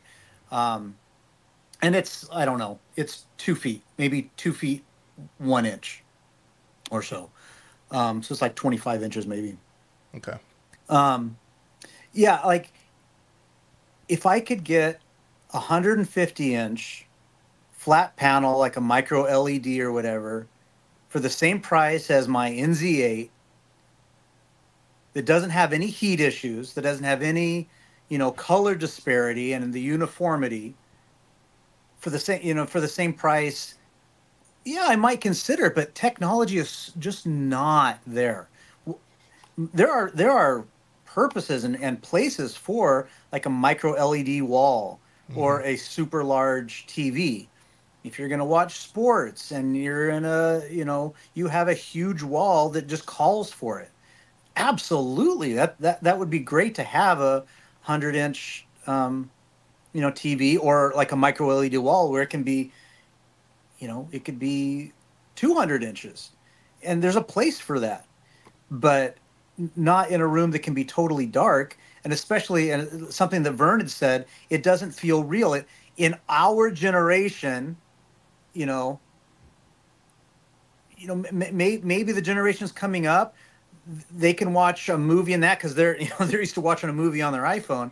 But to be like you know we're used to a projector we're used to a movie theater and um, a projection a projection and the texture of the screen it do, if you want to watch an authentic movie doesn't feel right on a TV if that's what you're going for if that's the you're trying to create a theater experience for people of a certain generation you know, because it, it doesn't look right with it, maybe with the reflective. And when I say it doesn't look right, it just doesn't look authentic to a theater going experience that you're trying to create at a movie theater without all of the annoyance of that. Um, but yeah, I, you know, I, I just, I can't see that, that the, with the technology not being there yet, with so many flaws that it still has, um, I, I just, I'm not interested and I don't think I'll ever, I don't think technology will ever hit that with the price point that I'm willing to spend Yeah. to, to do it. it. It's it's a fun little theory so Mhm. that, but I, I don't think. And I, I have a Mad VR with this. I have a 150 inch screen. I have a NZ8 3100 JVC. Um, this is th- th- this is great. Uh, my, now I do have so my TVs. I have a an A80J or A90J. It's a it's a Sony. it's a Sony. What is it? Probably A90. That was the that's I had that's a good TV. Yeah, it's a 70 it's a 75 inch OLED A90J. Yeah. It's it's like a 2001. I'm just trying to remember. And then I have then I have a I'm sorry, that's my 65 inch. Then I have a 75 inch X80J. It's the LED version because I have that in my game room. And you know, that's just well, you know, if you're shooting pool or whatever, and there's a lot of windows in there. So an LED works or LED LED works better in there than an OLED.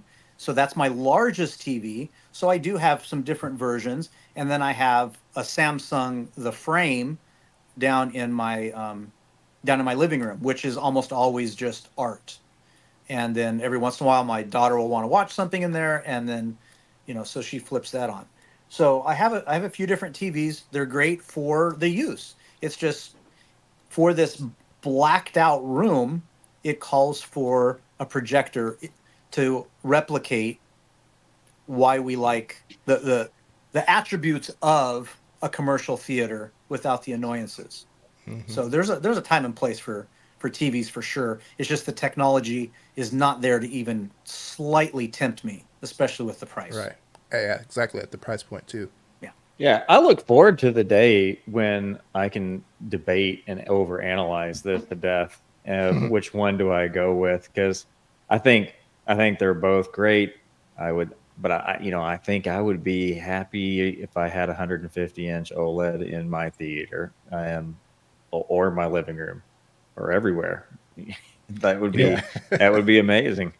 What I'd really like personally, uh, because I'm worried about the, the height of the screen relative to my sitting position, I would like one of those 21 by 9 inch. Mm. I guess are Yeah. they TVs or just panels? I don't know what they're called. Yeah, That would be that would be perfect for me. I was going to say, Doyle. Um, so if you're doing a lot of gaming, hmm yeah, projectors aren't the greatest. Uh, Right, especially the, the refresh rate, right? Yeah, well, On a projector, that- it's not as good. there are some projectors that'll hit 120, but not any JVCs. You're talking some BenQs and stuff like that. yes, 1080p. but yeah but um it's really so refresh rate input lag is a big one projectors input lag are, are Mm-hmm. not not good and and you can get oleds now with uh i don't know like sub 10 millisecond input lag time so it's That's great the for gaming. VR VRR. Is that the spec? that- yeah Variable variable- refresh rate. Yeah that's like g-sync and then free sync for amd Mhm. um, so what I ended up doing, that was another thing I did.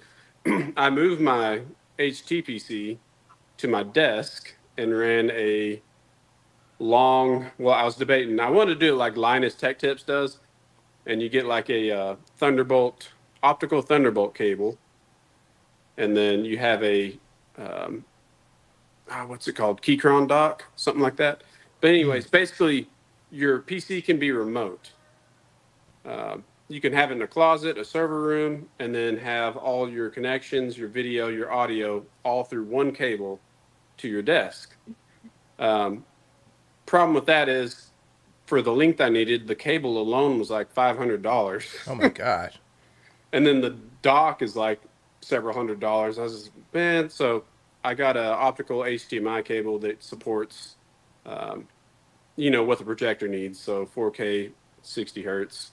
Um, So I moved the computer to my desk, ran the cables uh, to the theater room.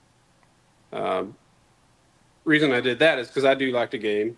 Uh, so I bought a 21 by 9 OLED computer monitor. Um, and it's been be- really good decision. So for gaming, I can use that monitor. Um, the refresh rate's like sub one millisecond. Uh, does G-Sync, FreeSync. Um, it's it's it's just been a really good experience for gaming because the theater room was really cool, but man, it was just hard to game with that input lag. Interesting. Yeah, there's there's uh, you know that's one thing that's good about t- technology now is that there's usually you can usually find a solution. It might be a little bit convoluted, you know, like you said, you had to move everything around. But yeah, for for gaming, TVs are always probably going to be the best. Uh, you know, for that. I Hey, mean, John, maybe quick- they could get projectors there, but they're Yeah. not. Quick there right question now. for you, John. So you you're talking about your center channel placement, but with your setup, you could have easily put it behind the screen. So what was the thought process behind that? I didn't want to sacrifice the length of my room. I have three rows. I wanted to be able to walk behind there. I didn't want it to be. Uh, I didn't. I wanted space.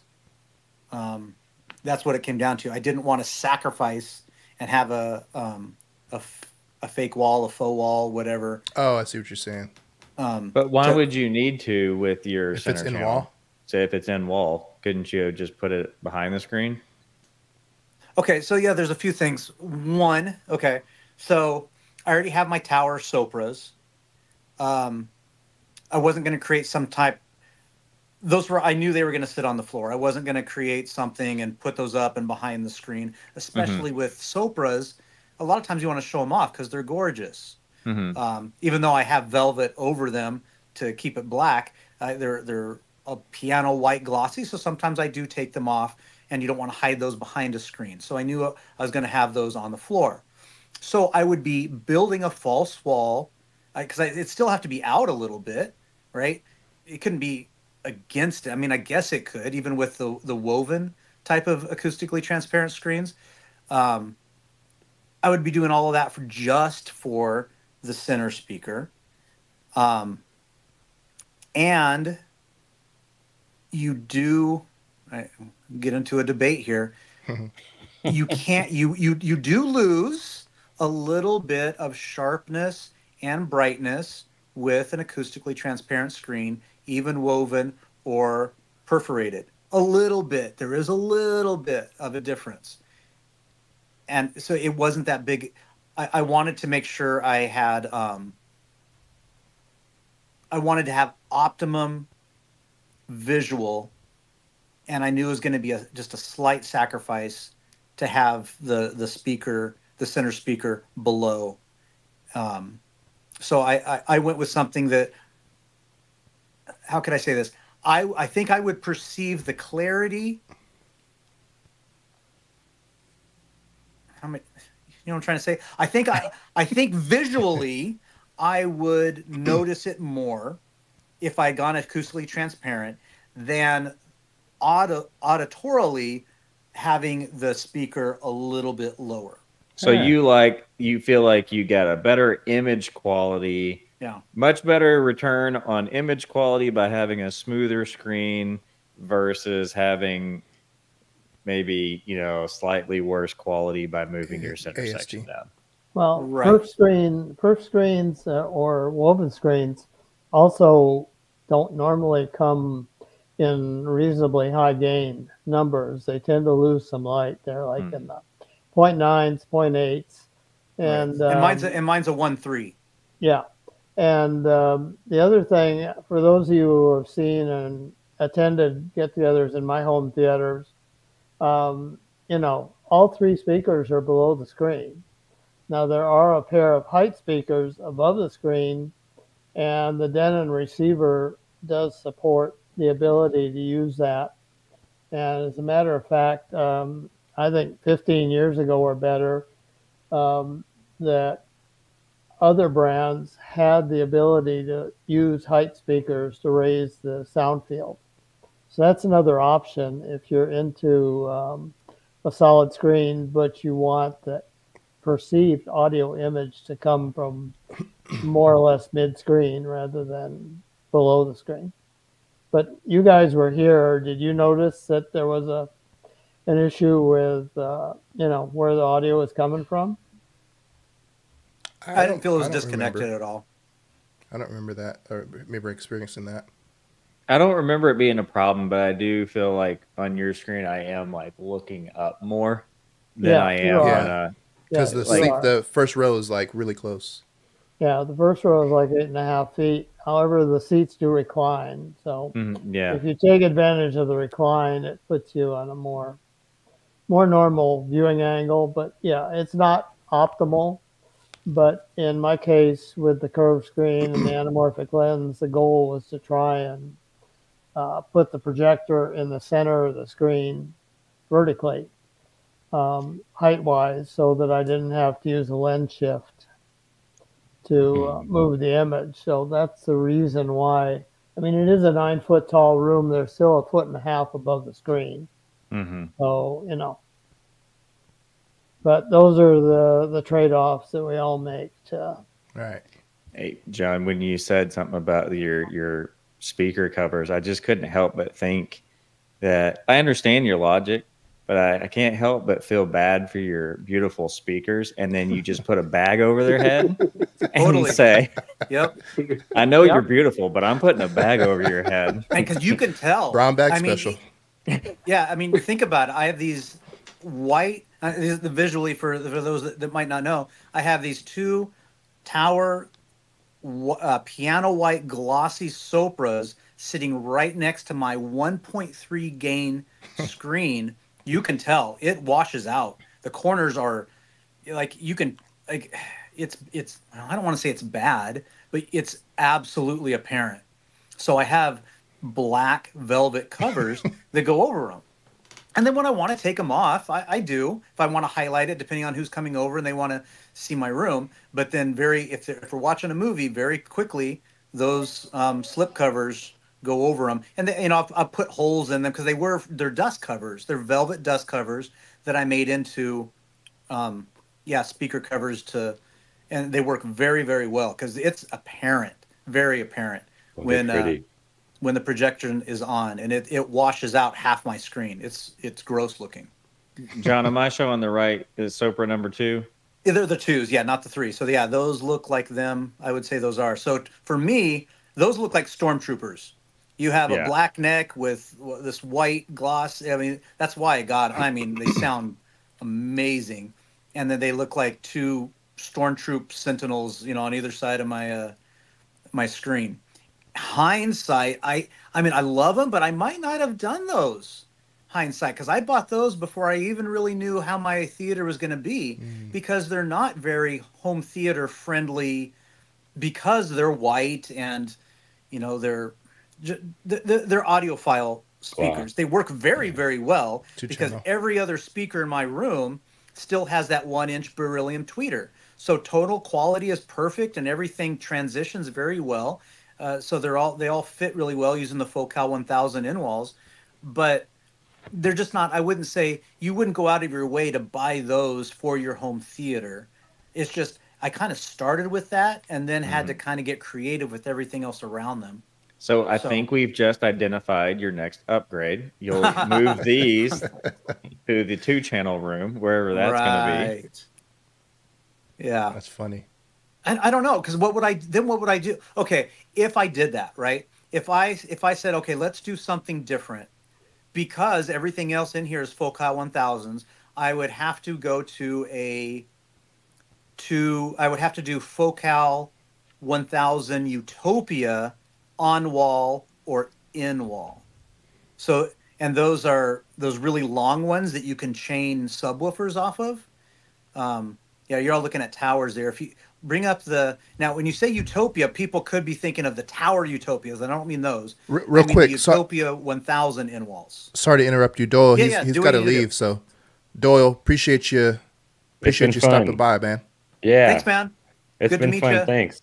Good chatting with you. Have All a good right. night. Talking to you. All right. Talk to you later. All right, let me go back to. Oops. Yeah, if you find them, if you look up the one, the Utopia 1000 in walls, and they're very, uh, and that, that that's used for an LCR. so if I was to get rid of my towers, which would be really weird, I would have to go to something really beefy because these towers are powerful. Um, so I would I would definitely go to the in wall, which can be on wall also, Utopias, and then I'd have to toenail them in a little bit. So I'd have to do some. Uh, a little bit of construction. You still looking for them? Yeah, I don't. Uh, You might just have- they're under. If you just Google,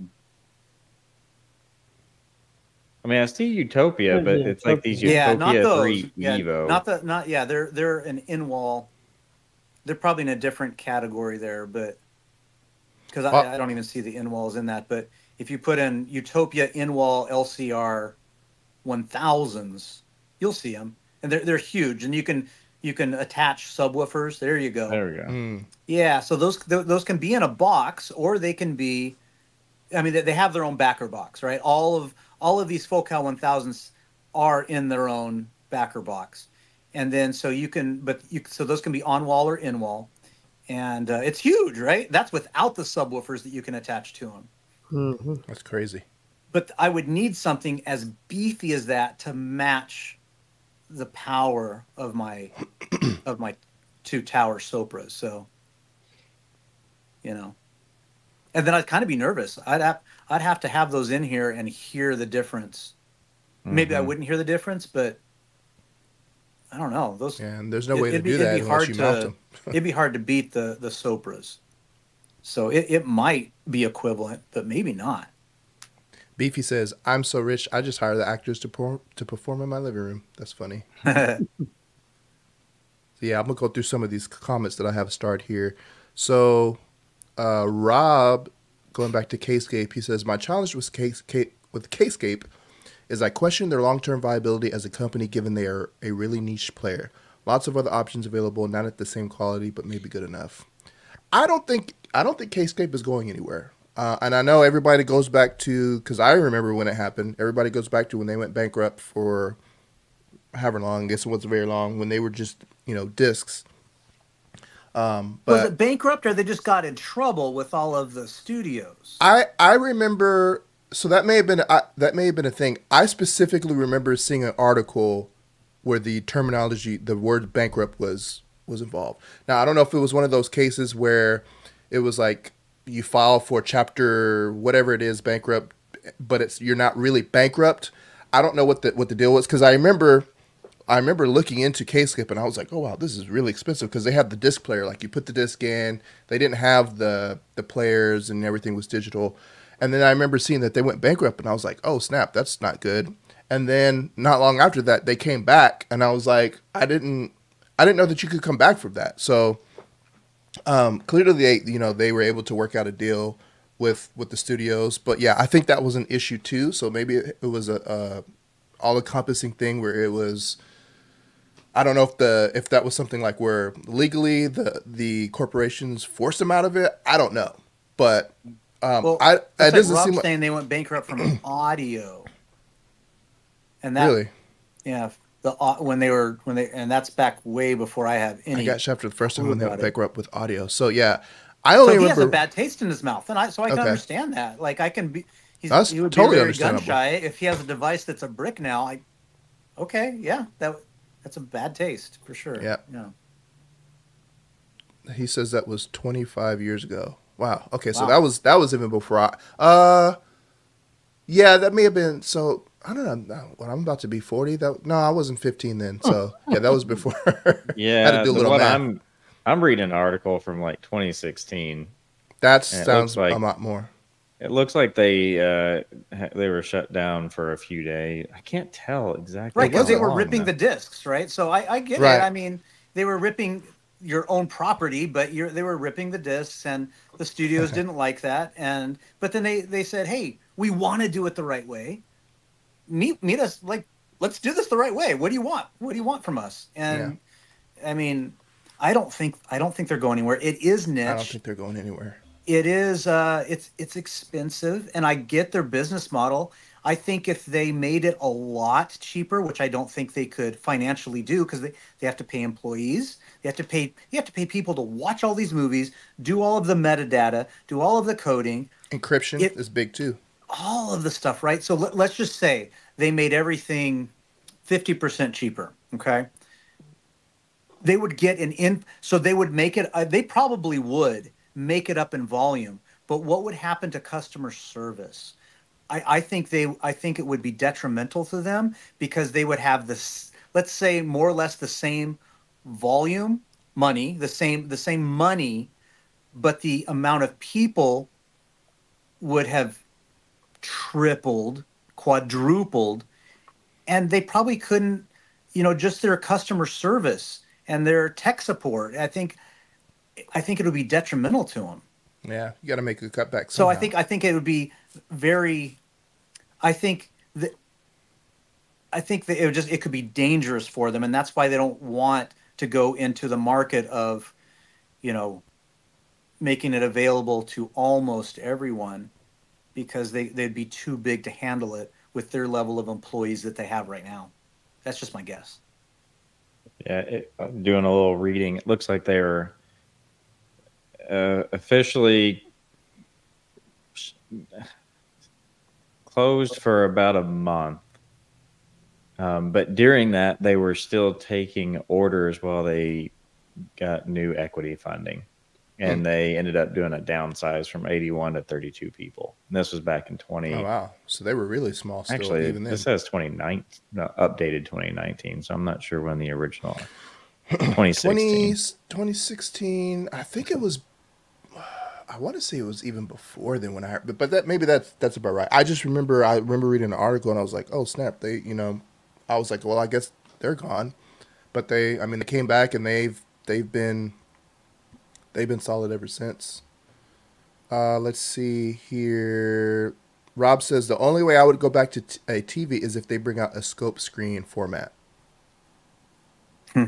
Yeah, I don't know. I don't. I don't know if, if there's any. I think that kind of goes back to consumer demand. Like, how many people actually want that for the Yeah. manufacturers to start mass producing that? You know. personally, whenever I'm watching on an uh, OLED, I don't even notice black bars because they're so black. Like it doesn't bother me because they're not gray bars. But I do get the as far as being able to fit really large format TVs inside a room. It could be nice to have that widescreen format. And I know that with the panel TVs, I forget what the correct name is, but where they're they're modular panels that you install Video screen wall. Yeah, screen walls. Yeah, that you can do any format you want. Yeah. Now those are cool. I saw that at Cedia last year. Uh, just just video walls actually, and it's that's the best ones that I've seen. And I didn't I didn't see seams or anything, but you can basically customize it like you said. You can have a 16 by 9 screen, and then right next to that you can have a scope screen, and then you can have like multiple like almost kind of like picture in picture, but like like large screens the size the size of like a 65 inch. It's it's crazy what they can do with those. But then, I mean, you're talking now you're talking like you have to have a dealer, you have to have an installer. Like you can't. It's not just like let me just take this out of the box and put this hang this on my TV. So you've got the cost of that. You've got to configure it, and then it comes with its own like uh, like computer to, to to do all of the masking or not masking, but to however what you know aspect ratios you want to do. So it's mm-hmm. it's a whole turnkey system. So now you're talking about thousands and thousands and thousands of dollars, much more than you know a TV or a regular TV. But it is cool. Like it's, I think it's definitely the future, but I don't think it's mainstream. Yeah, it'd be a little harder to take with you if you move too. Right? Yeah, because then you, that that now you have to like take it down and everything. So, but it's it's it's cool technology. Let's see. Evangelist says two months ago I got the Hisense 100 inch for two thousand dollars, replacing my one, replacing my 100 inch Hisense Ultra short throw. I do not regret the change. And last Black Friday I got the TCL 98 inch for the living room. No regrets, man. He's rocking with those those 100 inch setups. So yeah, a, a Hisense hundred inch TV would smoke a ultra short throw, ultra short, uh, you know, hundred inch. So, congrats on that, man. Rob says I have twelve TVs in my home. Jeez, twelve. I've got three. no, yeah, I've got three. My only regret is my OLED. If I had to do it over, I would have saved the money and bought the LED instead. Interesting. Why is that, Rob? It's a little bit brighter. Yeah. I don't think I've ever heard that though. I don't think I've ever heard anyone say that they, they I think back the OLEDs, the OLEDs tend to have burn-in issues if you're not very Mm, careful. That's too. right. I forgot about that. Beefy says Matt Poes just did a video about this, talking about what we were talking about earlier. Bouncing center channel off of the screen is doable, but ridiculously complicated to do right. Yeah, so I can't imagine how long that takes trial and error. Because I mean, everybody everybody's room is different, so it's not just like, a, oh yeah, we'll just put this here. You've got room, and then not everybody not everybody does uh, room acoustics. so you you know, you, I'm sure you there's so many factors that go into making that to where it's works perfect because you don't want it to work almost just work just work just right Mhm. you want it to work perfect to where it's seamless you don't it doesn't sound like it's being bounced off coming from somewhere and then so eh, i can't imagine how expensive that is either because i think i watched that video he talked about like it's ridiculously complicated and it's ridiculously expensive No, and he said his OLED's in a room with 12 windows, so that makes sense. Yeah, Oh, LED God. would be better. In there, okay yeah yeah, that makes for sense sure. So Hey, we- can you? What is it? He he's bouncing the center channel off the screen. How? It, where is the center channel at? I'm. I I'm think confused. it's so. I think it's below. So I, I know Shane Lee did a video when he went to Germany where they had something kind of like that. There's a so you have like your screen here, the center channel is aimed up towards the towards the I guess the LED display, and then it bounces back. And I think they have one on top and bottom. It's kind of it's kind of weird. I'm not really sure how the technology works, but um, It sounds like those complicated. bou- bounce mo speakers, bouncy Atmos speakers. I think Is it I kind think of the same concept? No, it's it's it's different. Like there's wavelength. It's all kind of. If you go watch Shane Lee's video, they talk about it. Um, and uh, apparently, like Shane Lee said that it was, it was pretty good, but it's it's not the same as um, having like a dedicated center channel, like either behind the screen or you know at at your level. But he, it's, apparently, it sounded pretty good. But it's like way, way, way more advanced. Um, and the speaker is like huge. Michael Uh, Stevens. I would. What's up, youth man? I would wonder if it would make it like where you have a pretty um, narrow sweet spot trying to do all the bounce stuff. Like, would you end up with a like there's only one good seat, or does that not matter if you get it set up right? So in that video also, because I think it was Esquindo that was doing that. Ascendo. Yeah, Sendo, Esquindo. They had also had I think speakers like along the front row. So it was it was like the main center speaker, and then there was other speakers. Because I think I think they talk about uh, off axis, you know, viewing for that with the audio. But yeah, I'm sure it's I'm sure it sounds like it's a very complicated process that you would have to do a lot of pre planning and make sure that your room is like I don't think you could just be like a, a standard cookie cutter house. You would just put that in there. You'd probably be doing like a custom house. You'd probably get with the with the builder and say like, or with the engineer and say, okay, this is what you need. This is the type of room that you need to have. This is the type of placement. This is so. I mean, that's, I'm sure hmm. it's like a whole, a whole Or, thing. or you could just put it right underneath your TV and be fine. You'll be fine. It's gonna sound No, great. It's garbage. We can't can't even imagine that. Treat your room. Treat your room with some acoustical panels. It'll be beautiful. Don't be scared. All right, if y'all could just hold on for nine minutes, I'm going to watch this video so I can comment on the discussion more appropriate. I got more comments The, uh, anyway. Uh, it, it's um also going to take a lot of digital audio processing to make that Yeah, work. Yeah, they said that Delaying, too. you're going to have to delay the outside channels um, because your distances are obviously going to be off because you're Yeah. adding speaker to screen to Yeah. the viewer. yeah, so totally. there's there's a tremendous amount of a- not worth it. Put speakers under the screen if you don't have any place else to put them. yeah, and I think they have to do like some matrixing of the other channels to like make it Mhm. blend in and all kinds of. It's uh, going to be a ugly solution. I mean, commercial theaters have been trying to make this work for a couple of years now, and uh, I haven't heard of any really great, you know, responses from people who say this sounds wonderful, Yeah. or read any in the forums that the theater owners track. Your average consumer is not going to do that. I, I don't see the need unless you've got like a if you've got like a theater size, like a legit theater size space where you and you would only do that if you had like, you know, an LED wall or something like that. Let's see, Michael Slocum Jr. And by the way, thanks for tuning in, Youth Man. Michael Slocum Jr. says, so I mentioned this before. I have left front, left center, right center, right front, all four speakers, PSA, MTM 212s are powered powered by a monolith 8D250X Class D amp. The sound is better than top and bottom center configuration. And he says, I'm in a modern loft condo with a giant 15 by 15 wall of floor to ceiling windows. My Epson 6040 does the trick. I'll have to watch. I have to watch after the sun goes down. Man, those are some big windows. Yeah, I mean it's it's you run into different issues with with projectors. So like you said, it's got to be light controlled. Any type of light that comes in, it's gonna. Um. Sure. Let me see. uh, let's see comments. Uh, Rob Zelinka says, "I saw a thought-provoking post on AVS. Is home theater a dying hobby? I'd say not with this group. Definitely not with me. I mean, I use No, my I think theater. it's getting bigger because Yeah. because the price point's coming down. I think I, I think we're hitting our heyday.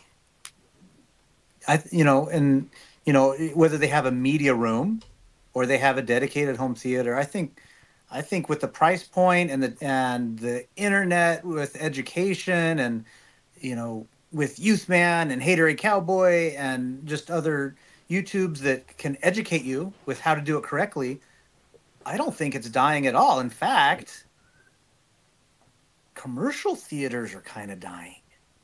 I mean, oh yeah, I watched some great, you know, you know, whether it be, and I know we are supposed to be talking about Dune 2. I don't know if we're going to get to it or not, but uh, you know, if I, I've watched some very big cinematic movies recently in a commercial theater, I was almost by myself, and it was within the first week of opening. Same. So, as why? So I say that to say that I think home theaters, more people are staying at home and want to recreate some of that with larger formats and better audio, better video, and so I, I think it's parent. I, I, think and and with prices coming down. And companies like SVS that have very great systems at a reasonable price, I don't think it's dying. I think it's on the rise. Yep, I agree with you because I went to see, I saw Dune twice in the theaters, and I saw Godzilla vs Kong twice. I went the last time I went was on Monday, but I went to I went to Dune opening weekend on Saturday, so like prime time, seven o'clock, and that theater was an IMAX theater. There was ten people in the theater, including myself and my friends, and then there was like a couple other people. I was like, man, this is kind of like I knew I knew it was on the decline, but this is opening weekend Yeah. on Saturday, and then I went on Monday, which Monday I understand because it's Monday evening, but there was maybe like ten people. Um, but yeah, it's it's kind of depressing, and I'm I'm trying I to do my sad, part. but I don't. I don't know why I feel sad because Right. I have this. Right. But I, I but I'm still sad. Like it's a shame. So, John, 'Cause do you know- still you know go to why- the you know theater? why- What's that? Do you still go to the theater? Well, for like Dune 2 I did because I didn't Right. want to wait. Yeah. okay. Same. Um so yeah, sometimes I didn't see Godzilla, the new one, Godzilla X Kong, Godzilla X whatever. Kong. Well, I, I you know, because I that one I can wait for. Um, so, but I think this is why I'm sad because I know most people would just rather sit at home on their iPad or laptop and watch the same movie, stream it, you know, two months from now when it comes out on streaming. I think that's why I'm sad because, you know, they're not experiencing it like the director and everyone is intention. and- But it's just sad to see this huge, you know, these million dollar systems and it's just an empty room. It's Yeah. too Uh, yeah, just a couple of weeks ago, I think it was, Alamo Draft House announced bankruptcy. Wow. No, that's where The I go. entire chain. The entire chain. Dang. I go. That's where. That's my chosen Wow. theater is the Alamo Draft House because I love their business model. Oh my Mhm. goodness, That's Wow. crazy. Yeah, I mean, and and shame. along the lines of them not being there, the experience just isn't like I was telling. I told a couple people when I went to see, specifically in the IMAX theater that I've gone to because it was closed, but I saw Dune and Godzilla X Kong, and I'm like, where's the bass at? And then when I saw Dune, like for some reason the whole movie, the right, the right back channel was like had to have been like 10 15 20 dbs hotter than everything else. Because i'm like why am i hearing this? And i asked my friend i'm like does that sound higher? And he was like yeah. So it's either they're not putting in the effort to calibrate the system per movie or what but it's just not the it's just not the same experience. So i mean My- i agree. closest AMC, I refuse to go there. Last thing I watched there was Spider Man uh, Across the Spider Verse, the newest one. It was so bad, I demanded my money back. now I know they had some audio issues, and that's a whole nother story. But and then, but I'd seen a move a few movies before that. Yeah, the audio is just appalling at some of these. No bass. it's offensive Now, but Alamo Draft House was great for Dune. It was amazing because I think they care a little bit much. So I'm sorry to hear that they might not be around unless they have Yeah, a, a trick up their sleeve. Yeah, I 'Cause don't some of them do a good job. I don't know exactly what they're doing. I think it was, I don't even remember what chapter it was, but I do subscribe to one of the movie theater uh, forums. And you regularly see, probably every week, they have a post on, you know, what theaters near you have recently closed. Hmm. And every week there are theaters showing up in that list. And uh, but I can guarantee you that none of these theaters in today's world probably see a technician maybe more than once a year. i And believe it So if something happens to a channel, to a speaker, to balance, the people who run it aren't going to notice it. The people who go and complain aren't going to get any satisfaction. And, you know, that's just the way it is in today's world. I mean, once they went to digital, there's just no, you know, there's no reason to have anybody there who really cares. Need somebody to push the button, to start the show, and that's the last thing that you need any kind of support for or attention to. So, Yeah.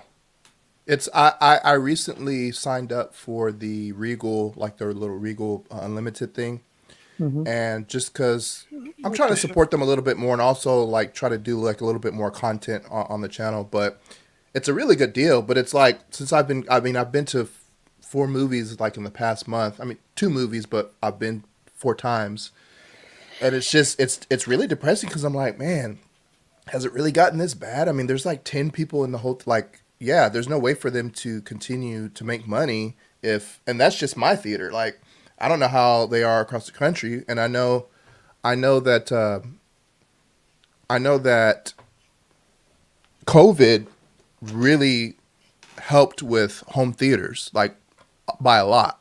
So, Mm-hmm. you know, I mean, I I much prefer to watch movies in my theater, but same, you know, like like John was saying for like Dune, like I don't want to wait. I want to see that the way it's supposed to be seen because it's it's just not the same experience, even though we have these you know large home theaters and stuff. So I was glad that I was able to see it. And, and Oppenheimer. I, we, I saw that with Mm. Rusty, and we saw that in the 70 the millimeter? 70 I'm sorry? Seventy millimeter. Right. So we we saw the actual film version because I wanted to experience that because it's been a long time since I'd seen a film. So th- so that was fun. So there are times and places that I'll go for sure. Dolby Cinemas. Someone just commented. Dolby Cinemas. That's where I saw Top Gun Maverick because I wasn't Mm. gonna wait, and that was at a Dolby Cinema with the um I don't know the, some sort of butt kickers in the seat. Uh, I don't know exactly what they're using, but that was awesome. The Dolby Cinema that I went to was great. So there are to ones that care, but on the average, commercial theaters they just don't care and they don't they fall out of calibration and they don't get maintained well enough. John, the last movie I saw in a commercial cinema was Oppenheimer with you, Okay. and that was neat just because of the whole 70 millimeter film and that Right. aspect. And it did really look interesting. It was it was different and it was better. Um, now I also remember that the audio in that theater wasn't all that great, so Well, I mean the like- bass the bass sounded good, but it was way loud like it Yeah. was kind of harsh sounding and so i still you know i'm i prefer the comforts of my creature comforts uh, at home and i can wait for releases so i hope y'all don't ruin dune 2 whenever we get to that but ma- maybe um, maybe we won't expound on it. I just I just wanted to see if if anybody had seen it and what they thought about it because it's I I the saw scale it, is amazing. and yes, and I am nervous to play it in my theater. Like I know it can gonna be the handle it. I know it can handle it, but I might need to do some drywall repair. Yeah, it's crazy. If I'm playing that at reference, because a few scenes are like, oh my gosh, this is gonna sound insane in my mm-hmm. theater. Yeah, it's it's So, gonna. yeah. I think it's gonna be one of the top demos. But I agree with you, man. Like, I I like IMAX. The IMAX that's close by my house, I've been twice in the last couple weeks, and the there's like zero bass. But the other IMAX that we have in Houston, that's off of in, in I-10 and Silver, there's times where I'm like, this is borderline too loud. Like this is hurting my ears. I think I remember the first time I went there was for Batman, uh, The Dark Knight, The Dark Knight. Uh, yeah, The Dark Knight, the second one, and the opening scene with the shotgun, and I was like, oh my god, this is this is too loud. So sometimes I think there's there's an imbalance there where they just I, I don't know if they just don't know how to calibrate it or or somebody's not properly calibrating it or what, but yeah. Um, so yeah, uh, did anybody else see Dune? Uh, Rusty B, did you see? I haven't seen it yet. Okay. Okay, so, um, yeah, then we won't- we won't spoil it for anybody that, that hasn't seen it yet, but it's it's pretty cool. It's So great. I, I think the only other topic left is M Wave. Woo! Yes. So I know Got Rusty. ticket. Yep, I know. I know Rusty is been doing some stuff, so we're gonna let him tell a little bit about what he's been doing. Um, yeah Youthman says, "Don't so judge me. I still need to do the first." yeah, because you, you've you've you've got a big role this year. Yeah. Um, so what I'm doing is just to uh, to help the man, and I he he didn't wasn't planning to join us tonight, and I said, well.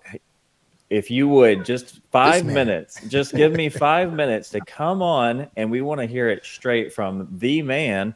Tell us what's going on with M Wave. He's like, no, no, no, I'm not going to crash your party. I just wanted to come he's never hi crashing, man. show some love. I was like, no, no, no, just just real quick. And so he reluctantly agreed to to grace us with his presence. So, uh, Uh, just hey, get do you rid want of all of the rest of us. Just wipe us off the screen. Exactly. Michael on. No, for sure not. Yeah. Well, we have we I think we have I wasn't sure if we could share it or not, but Michael called me today and said we got a few new people on board. Did you are you ready to announce those Yeah. yet? Um, well, I know one we can, the other one we can't, just because they're still finalizing like who they're wanting to bring into their group. But the one, absolutely. All right. Let her rip. So we just got a new, um, I want to say brand. It's basically a home theater company called Kinkade Home Theaters. So they are in Kansas City, so they're local to the show, which is pretty cool. Um, they've got what is it, Epson? They have actually it'd be easier for me just to look it up.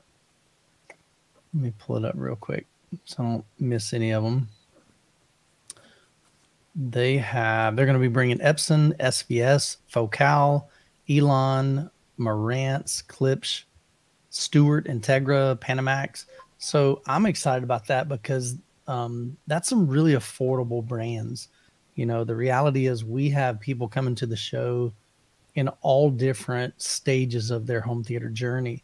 Some are just getting into this hobby and they're looking for answers. They're looking for, you know, what are they don't know what they're looking for. They just come into the show to get an experience with different brands to see the sound signature that they like, or maybe they're considering, you know, going to a projection.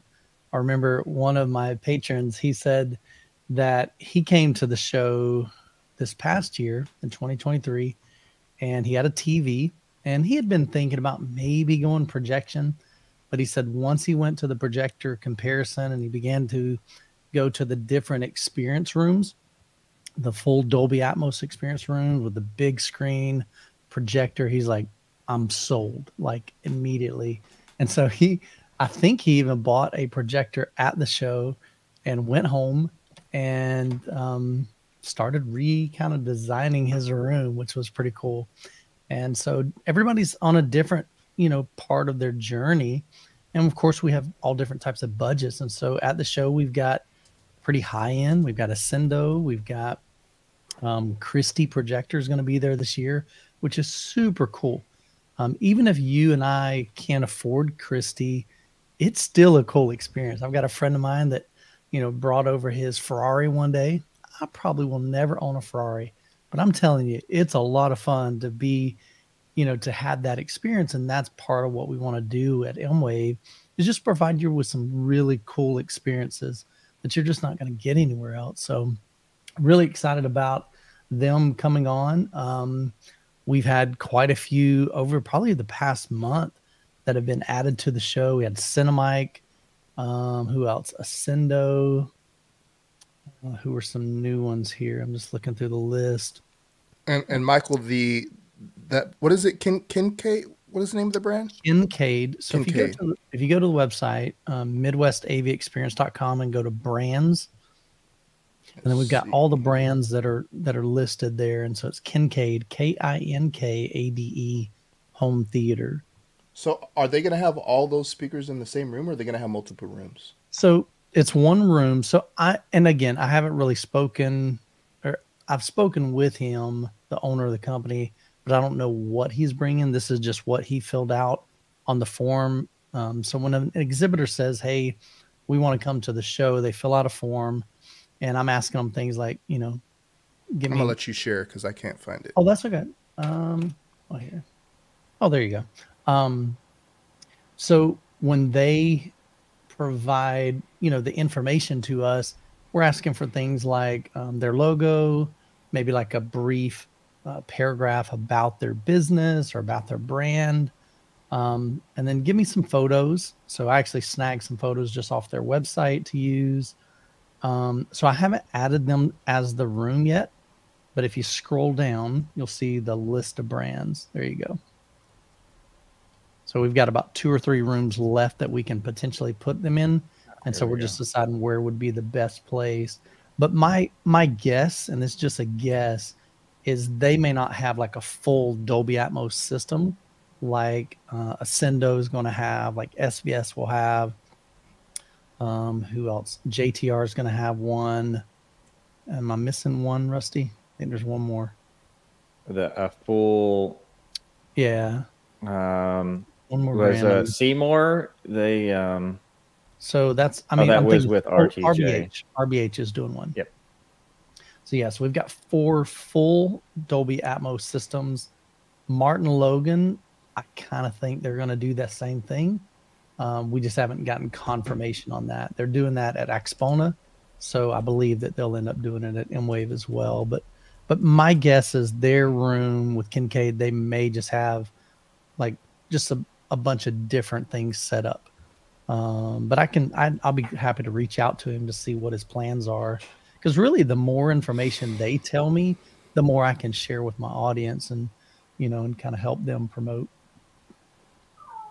Sounds good man. Yeah and we've we've already got some um, being uh, got some good responses on some of the seminars. I think we're going to have some really cool seminars this year and there's some that we're still nailing down and nailing down the schedule but we'll definitely have a list of seminars and a mm-hmm. seminar schedule posted yeah. way in advance so everybody can plan your visit and make sure you don't miss anything this um, at M-Wave 24.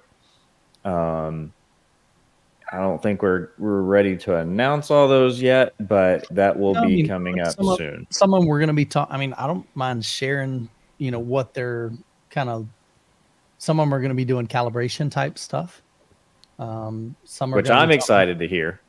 Yeah, some of them are going to be talking about the new RP twenty or twenty two guidelines. Yeah, that's cool. So, and we actually have two groups that are interested in talking about that. And one of the emails today was like, "Hey, we kind of already have somebody talking about the RP22." And then the guy responded, he's like, "You know, that's like 107 pages. There's Mhm. a lot of content. yeah, it's pretty thick. More than likely, we can make sure that we're not, you know, overlapping."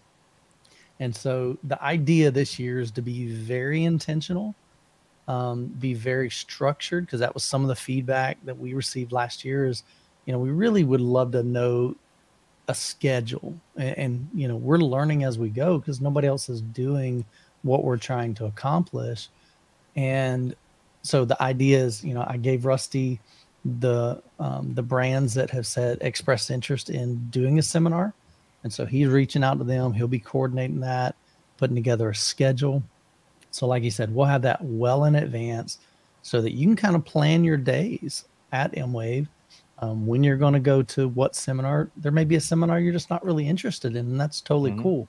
We want this weekend to be for you and to meet your needs. If you're there just to build relationships, there's going to be plenty of opportunities to do that.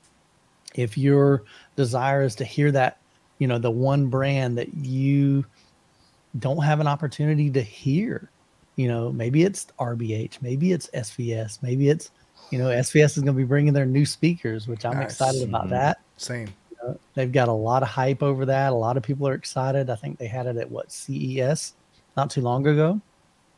Got a lot of good feedback for that. So, um, so we're gonna have that as a full Dolby Atmos setup. I'm super pumped about that. Um, like I said, man, we're just we're trying to we just want to have some fun. We want to create an event that people come to and they leave and go, "Can I just go ahead and sign up for next year?" Because Mhm. this was awesome, you know, and that's exactly. really what striving to do. Yeah, and I, I want to say I asked Jordan. You know, he's uh he has an affiliate link because he's he's sending people sending his audience to M Wave because he went he enjoyed it and he's he's already give made several videos about it, but. Yeah. He's like, no, I'm coming back, and and you're coming with me. So he's, he's bringing his audience along with him. Um, so I said, make sure you flash that up on your your your banner because we want you to get credit for those Yeah, for referrals. sure. And and um, and yes, he does get a, a small commission, but it's because he earned it. And Yeah. One of the best things.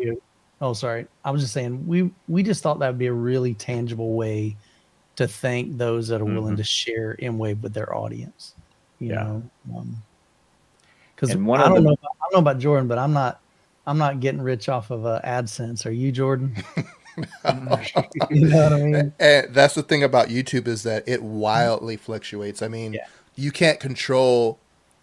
You can't say I'm going to make a video and this video is going to get fifty thousand views. You have zero control over that, and it might be personally the best video that you've ever created. Sure. But if you're if, if you don't have the right thumbnail, if you don't have the right title, and people don't click on it, then the, the algorithm says, "Hey, people don't like this video as much as your other ones. I'm not going to push it out." So it's just it's it's kind of it's kind of like a, a a crack shot. You know, some videos we've talked about this before. We put all this effort, days, weeks. You know, you you do all this nice B roll and everything, and it may get three, four thousand views. But then you go turn on the camera and just you know talk from the hip, and it gets twenty thousand views, and you're like, what the heck? What? Yeah. So, yeah, I, I I appreciate you you know you guys doing that. um, yeah, I'm learning all the the behind the scenes about the the YouTube life, and and one day uh, Michael's like sending me a screenshot, and he's like, "Oh, this video is not doing as good as I had hoped. I'm changing the screenshot or the thumbnail and the description." I'm like, I said, "Bro, it's been like 30 minutes." He's like, "I know it's been 30 minutes already." It makes a And big I was like, difference. it's weird. YouTube, YouTube gives you immediate feedback. So within the first, I think it's about 45 minutes after a, a video is posted, it'll rank it. It'll compare it to your most recent 10 videos. Ten out of ten is bad. Yes, exactly. That's terrible. So this is what I do. If the video is six, seven, eight, nine, or ten, I just change the thumbnail and title because that tells me people might be seeing the video, but they're Not just on it. scrolling past it. It didn't grab their attention. And Yeah. so you never want to make a clickbait title or clickbait thumbnail, but you absolutely have to create clickable titles and thumbnails. That's just the reality of it. So That's why- catch peop- if you don't catch people's attention, they're not going to watch no matter how many hours Jordan spent crafting this video or how many hours Ike has spent, you know, doing this awesome B-roll and and just has this great production value. If nobody ever clicks on it, it doesn't really matter.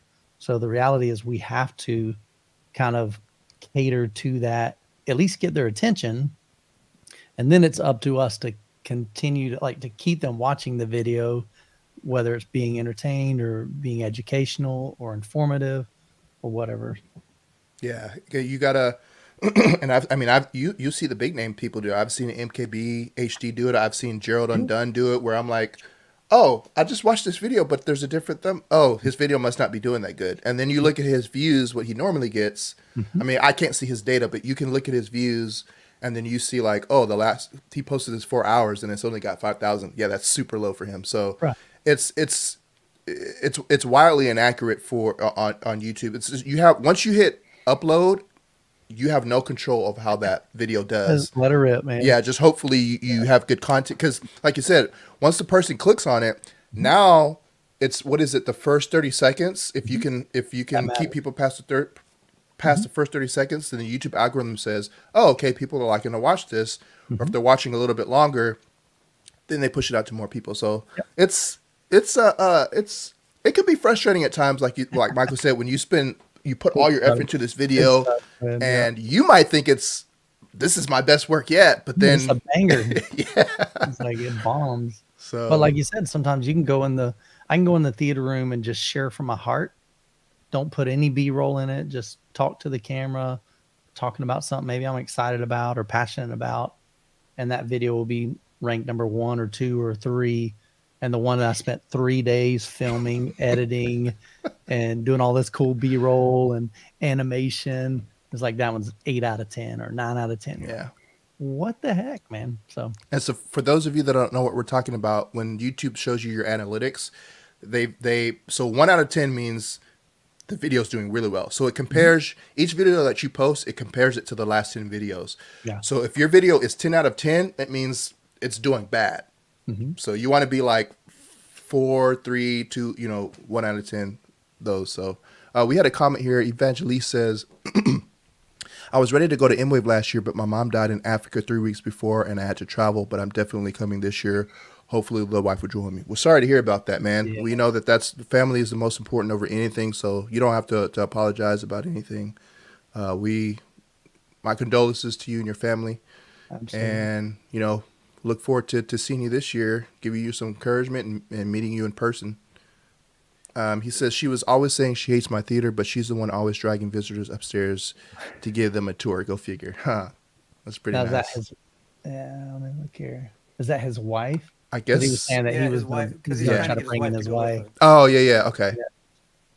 So, so Rusty, I was gonna ask you too, uh, real quick. So, your title says, "Oh, let me let me hide this." Your title says M Wave Event Coordinator. So, why don't you give us a little bit of uh, explanation of what that actually means for the those people that are watching? Because that's you weren't doing that last year. No, I wasn't. Um, I've I've Doing come all the as garbage a, that Michael doesn't want to do. a yeah, exactly. Kind of in his job description, really. I. Um, I, I do. Uh, I'm the vice president of miscellaneous. So, what, whatever needs to get done. No, I, you know, I I had a lot of fun uh, being, you know, the first year going for the tech. The second year was more about the community, and this third year for me is about giving back to the community. And I'm just wanted to be able to contribute in a meaningful way um, to make the experience as good as possible for uh, the attendees, the exhibitors, uh, the host Michael and Ryan, and and also for the volunteers because man, we we have like I think we're up Yeah. to like 25 different volunteers that are helping to put on the show. Oh, nice. And I want to put big credit to John Brock, um, our very own, as he's he's really helping me with the hospitality side of things. He has a he has a knack for hospitality and a, a heart for it too. Um, and so we've had several discussions and and how to make this experience uh, one that people want to come back to year after year. Um, so my job is a lot of coordinating with you know the seminars and the scheduling and the organizing. You know, I I love my spreadsheets. I like planning. I like making sure everything comes together nice and neat. Um, it's been a, a a steep learning curve, but it's been a fun one because I love the hobby and I like the people I'm working with. Um, so, on that note, I have to plug a couple things. One is the M Wave 2024 VIP giveaway contest. Um, Jordan, can I share my screen to show Yeah. this? Is it? Let me make. Is it still this yep, one? it's ready to go. So if you go to the MS in midwestaviexperience.com slash contest, um, there's a video that Michael describes kind of about the contest, but it's extremely easy. The prize is three VIP tours. Those are $200 a piece. So that's a $600 value and um, a general admission ticket. So that's another $75. So a total prize value of $675. It doesn't cost you anything to win. Um, I, I kind of wish that I was eligible because I already bought mine like He's like, dang. a long time ago. I don't. I should have come up with this later, uh, a lot later or sooner. I mean, but uh, this is in thanks to three attendees that just wanted to give back to the community. That's awesome. And and that's Drew, Anthony, and Brian. We want to honor the Yeah. the source for their generous donations because that's what made it possible. Um, but you get to whoever wins, and we only got like ten days left, and Yeah, there's we not haven't lot of had people that, many submitted. entries. So Really? your chances of winning Very Extremely high. good. very like you have very excellent, ch- yeah, and and all we want you to do is share, make a ninety second video, just sharing your home theater journey, why you want to Mm-hmm. come to M Wave.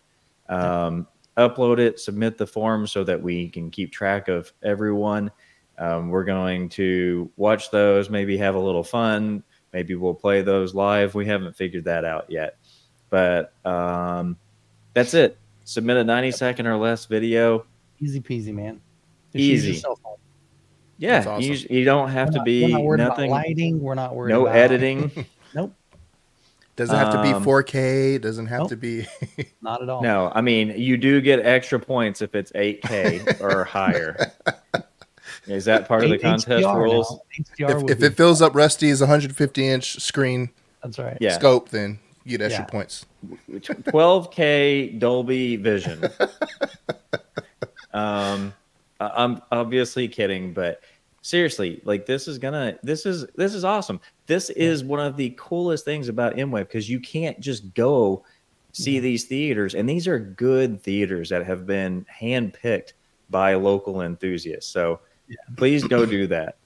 Yeah, and one thing One- to say about that too is, um, what? Let me address this question real quick. Evangeliste, he says, will the two hundred dollar VIP home theater experience include the seventy five dollar general admission? Great question.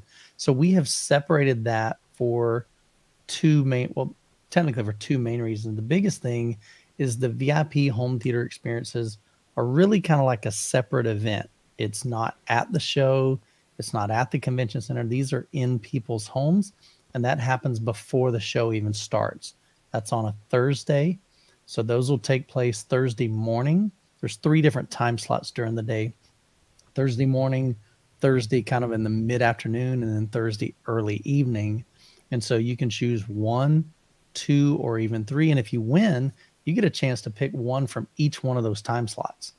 Um, and so, and then, but it gives people technically somebody could come to one, two, or three of those and not even come to the show, Mhm. or vice versa. They could come to just the show, the three days, Friday, Saturday, Sunday, and not do any of the VIP home theater experiences. So those are just totally separate.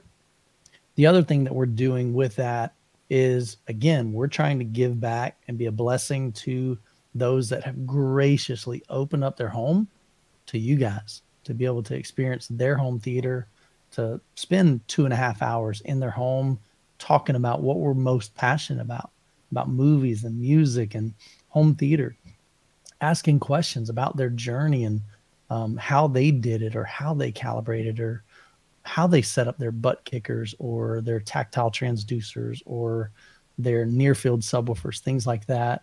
Um, and just picking their brain. Uh, I think there's huge value in that, but we're splitting the revenue with with the homeowner as well, um, and so they're literally getting half of that that revenue because again, we want to be a blessing to them.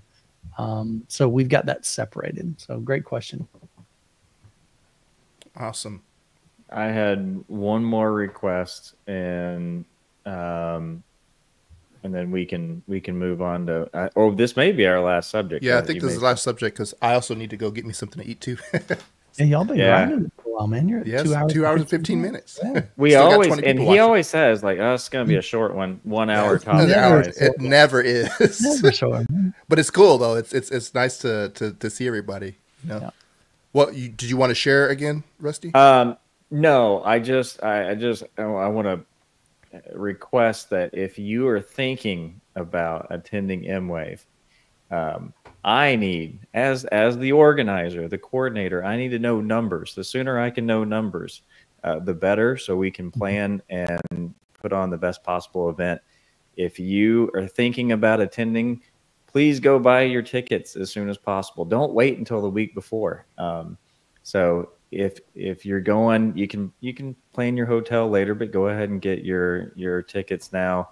Uh, you can get it through Jordan's link so that he gets due credit for sending you this way, um, and we would really appreciate it.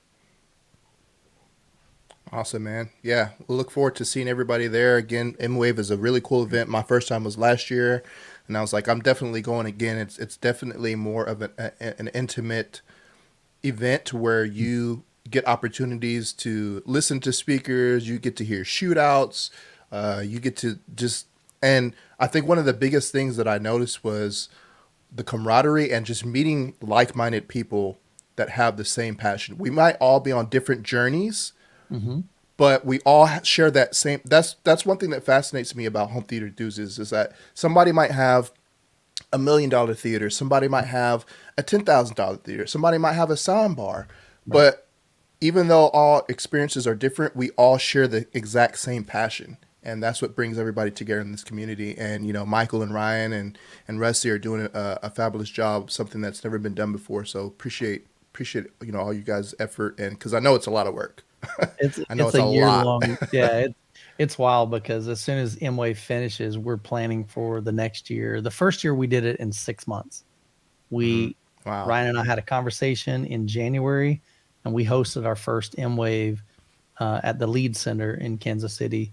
Six months later in July, and then the next year, uh, which was 2023, we had probably like eight months that we planned, and then literally as soon as M Wave finished in 2023, we're already making plans for 2024 because we want it to be the best that it possibly can be.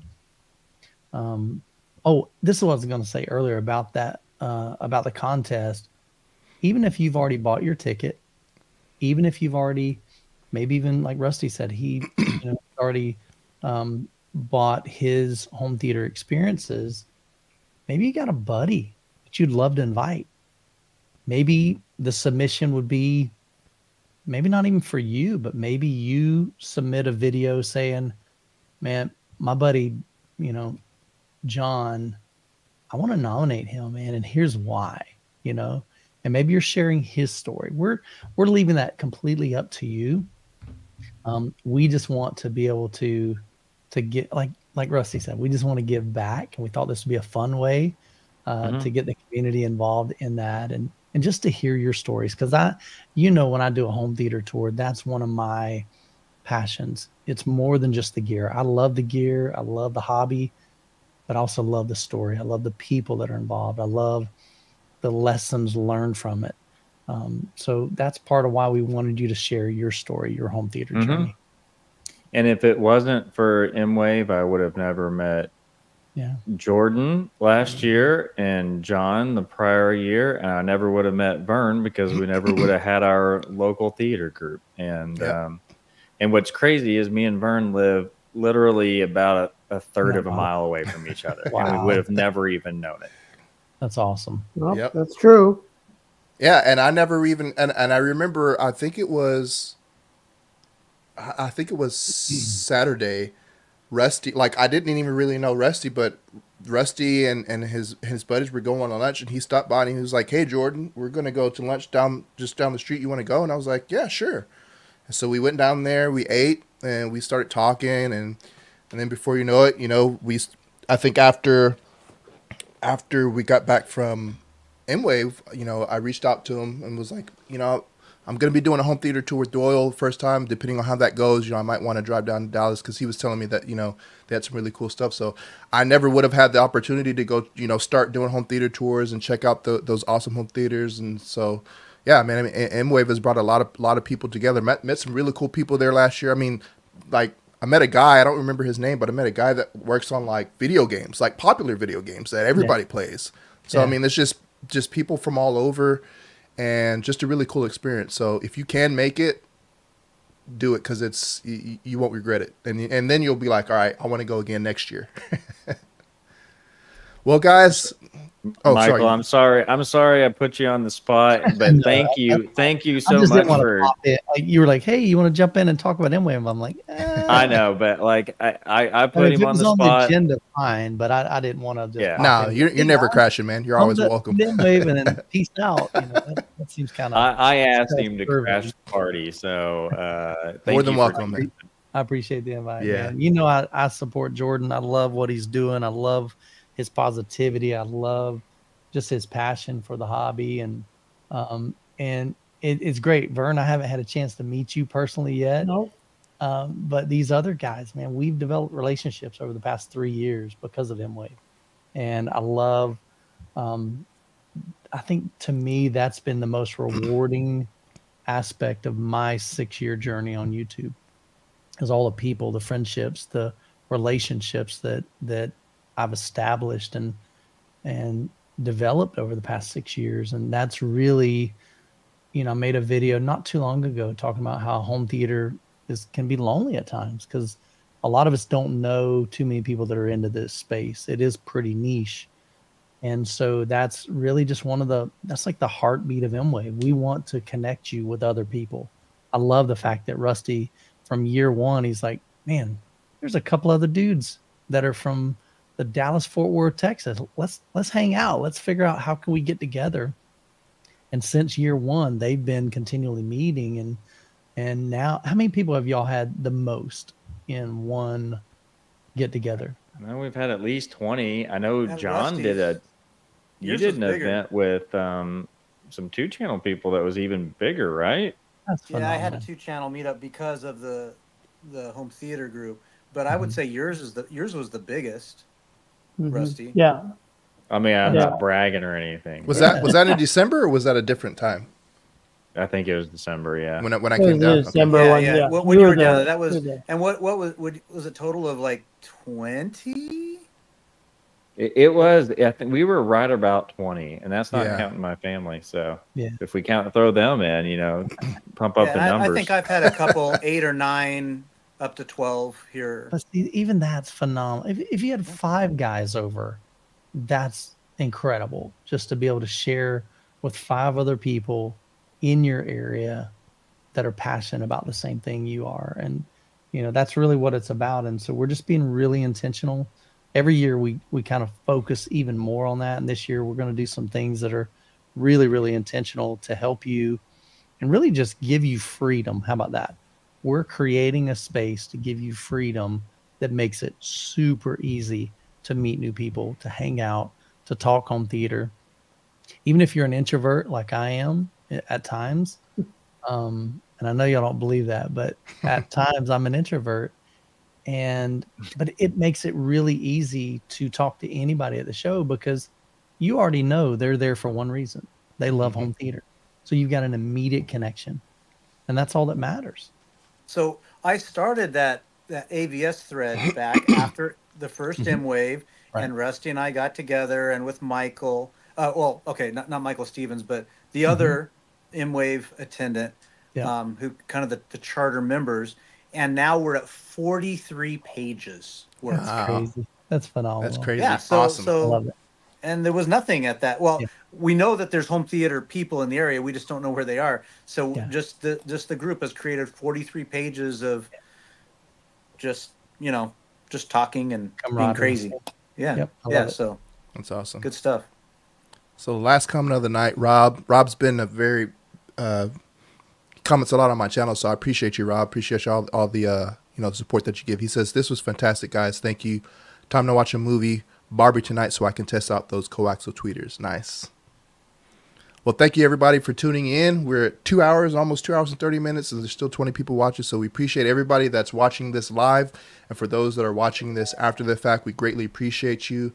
Everybody, Vern, Rusty, Rusty, John, and I know Doyle left already. And Michael, we appreciate everybody that appreciate everybody in this community, man. Everybody has a lot of knowledge Yep. and is always contributing. So we thank you guys for for tuning in and everybody enjoy their Friday evening and we'll see you on somebody's channel next. All right, guys. Thanks, Jordan.